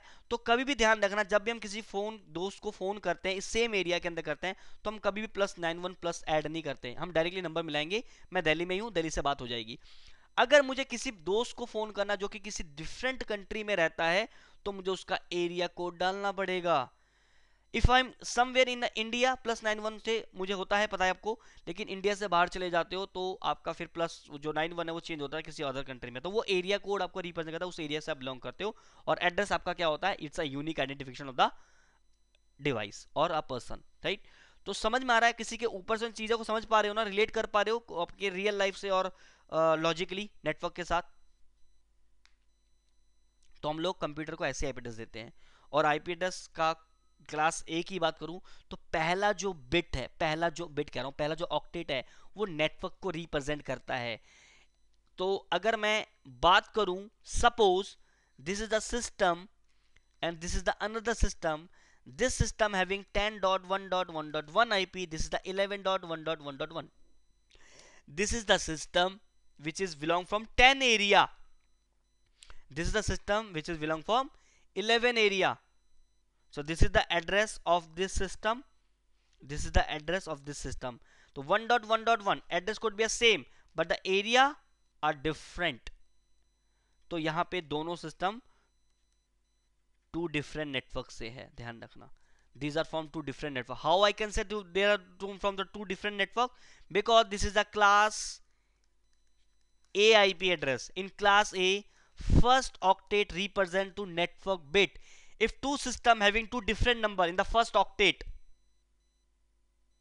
if the two system having two different number in the first octet in class a i will say both are the same different both are the same different network not same a different network क्योंकि ये 10 area को belong करता है this the 11 area so by default they can not communicate with each other by default कभी भी बात नहीं कर सकते कैसे करेंगे विल अनदर थिंग बाद में बात करेंगे। सर, अब कॉन्सेप्ट को समझो आईपी एड्रेस के। ठीक है? क्लास ए का पहला ऑक्टेट जो है, वो नेटवर्क को रिप्रेजेंट करता है। बाकी के जो 24 बिट है और जो थ्री ऑक्टेट्स हैं, वो होस्ट पोर्शन को रिप्रेजेंट करता है। दो सिस्टम के अगर एरिया कोड सेम है the first octet I am talking about only class A तो if the first one octet is the same that mean both systems और जितने भी सिस्टम्स है, वो सारे सेम नेटवर्क में है। और वो आपस में कम्युनिकेट कर पाएँगे। Two different system two different network can not communicate by default बाद में बात करेंगे कैसे कराना होगा। सबको समझ में आ रही है बिन्नी जी रैपी जी एंड आलिम क्लियर है? कुछ चीज़ें नई चढ़ पढ़ रहे होंगे, शायद पहले कभी नहीं पढ़ी होंगी इस तरीके से।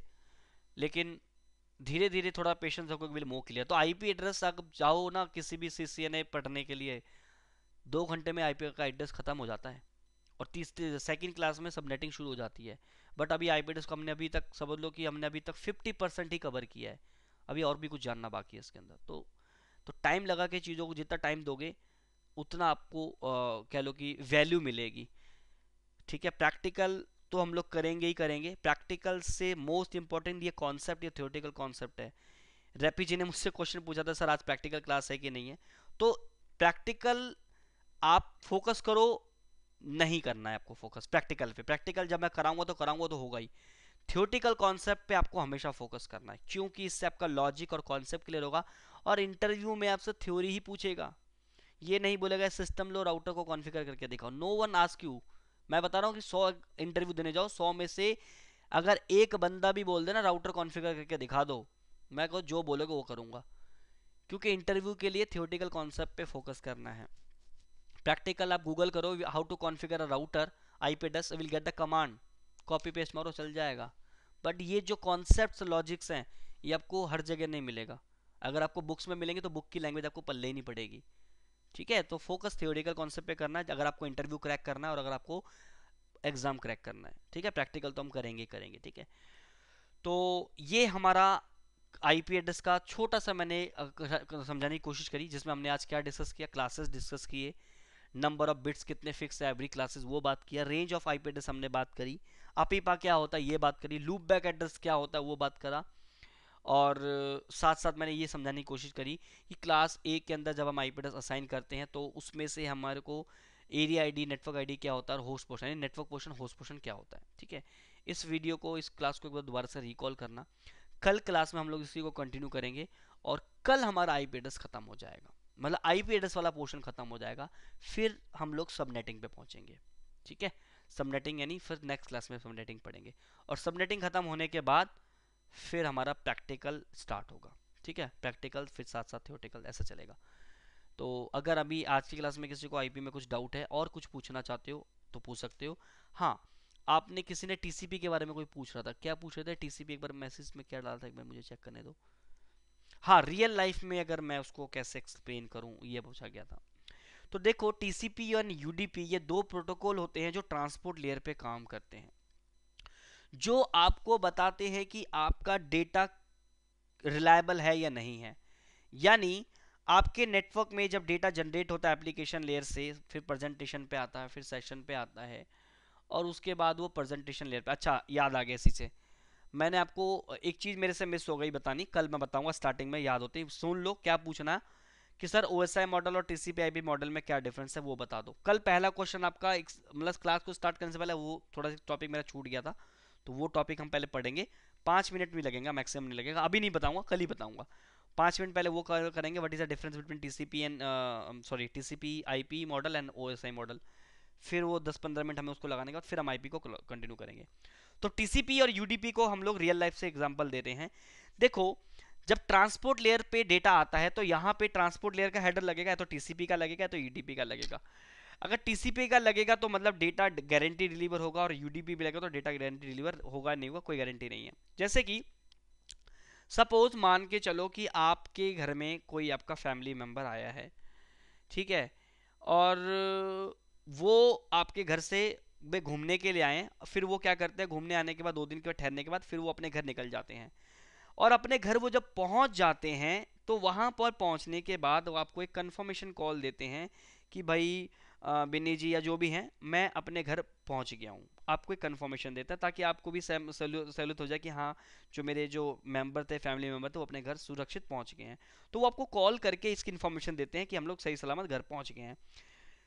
तो मतलब क्या हुआ कि आपको एक एक्नॉलेजमेंट दिया कि हाँ वो सही सलामत पहुँचे हैं। या मान के चलो कि आप कोई भी ऑर्डर करते हो ऑनलाइन अमेजोन से कोई प्रोडक्ट डिलीवर ऑनलाइन ऑर्डर करते हो तो आपके पास वो प्रोडक्ट आपके घर में आता है और घर में आने के बाद जो डिलीवरी बॉय है, वो क्या करता है प्रोडक्ट को आपको हैंड ओवर कर देता है। बट डिलीवरी बॉय कैसे कंफर्म करेगा अपनी कंपनी को कि भाई जो मैंने प्रोडक्ट है, वो सक्सेसफुली डिलीवर कर दिया है?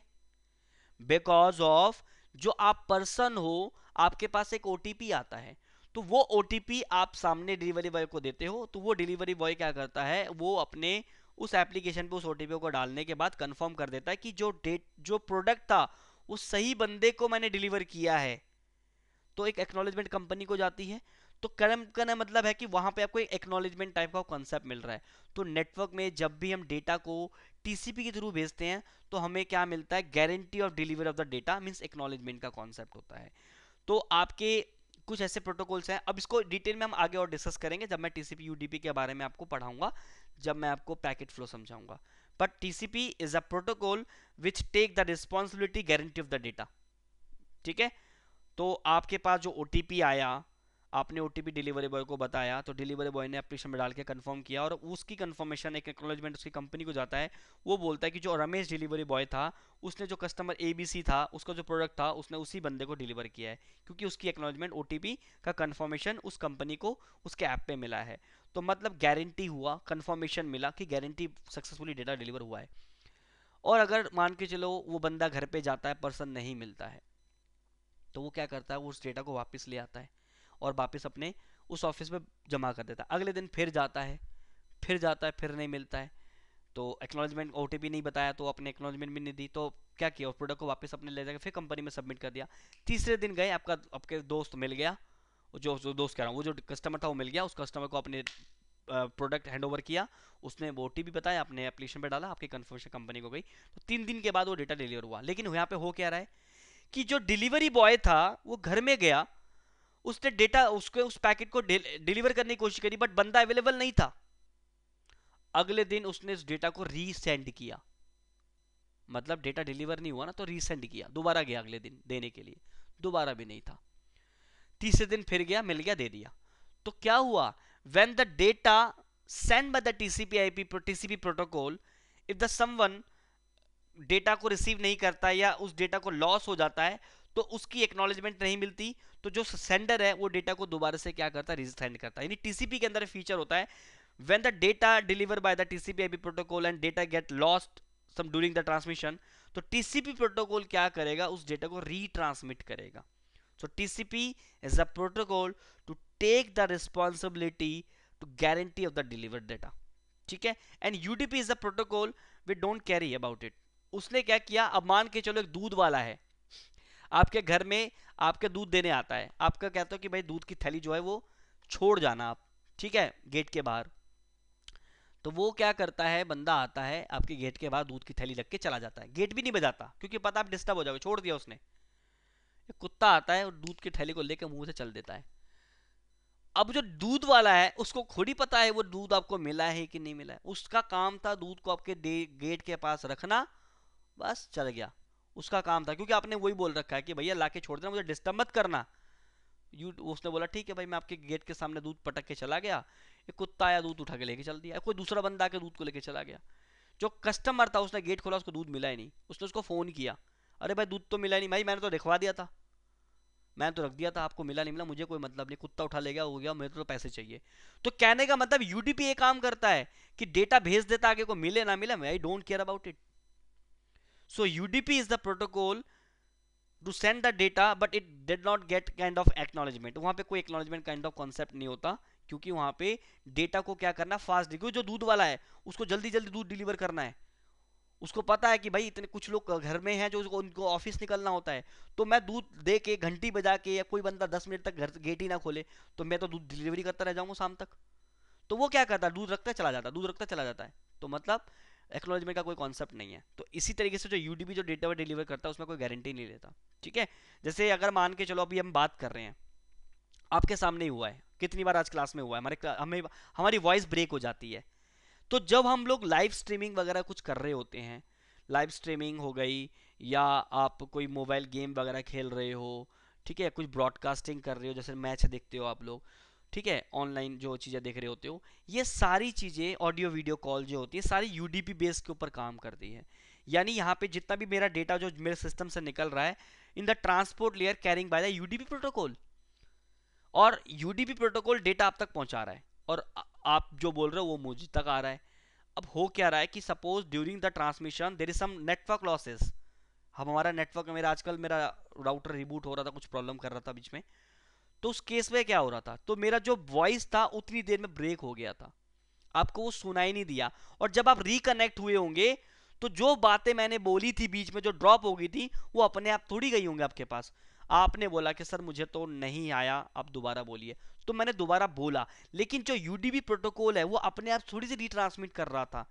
उसको थोड़ी पता था, उसको पता था कि नेटवर्क लॉस हुआ है बीच में but I will not resend you resend you again again again no तो जो data during the transmission when the transfer by the UDP protocol और वो अगर लॉस हो जाता है during the transmission UDP protocol will not send again it will not resend to you again so this is the UDP protocol like this तो आगे चल के हम टीसीपी यूडीपी का जब प्रैक्टिकल देखेंगे will move clear got it my point सबको समझ में आया? तो मैंने अच्छे से समझाने की कोशिश करी टीसीपी एंड यूडीपी रैपी का शायद ये क्वेश्चन था, शायद आई थिंक रैपी नहीं डाला था ये message Rappy I hope so you clear understand sir okay सबको समझ में आया? बाकी लोग भी? आलिम जी बिनी। ठीक है? तो क्लास को अभी यहीं पे ओवर करते हैं। बाकी जो है हम लोग ये आ, कल की क्लास में हम लोग कंटिन्यू करेंगे। ठीक है? चलो मिलते हैं फिर कल की क्लास में गाइस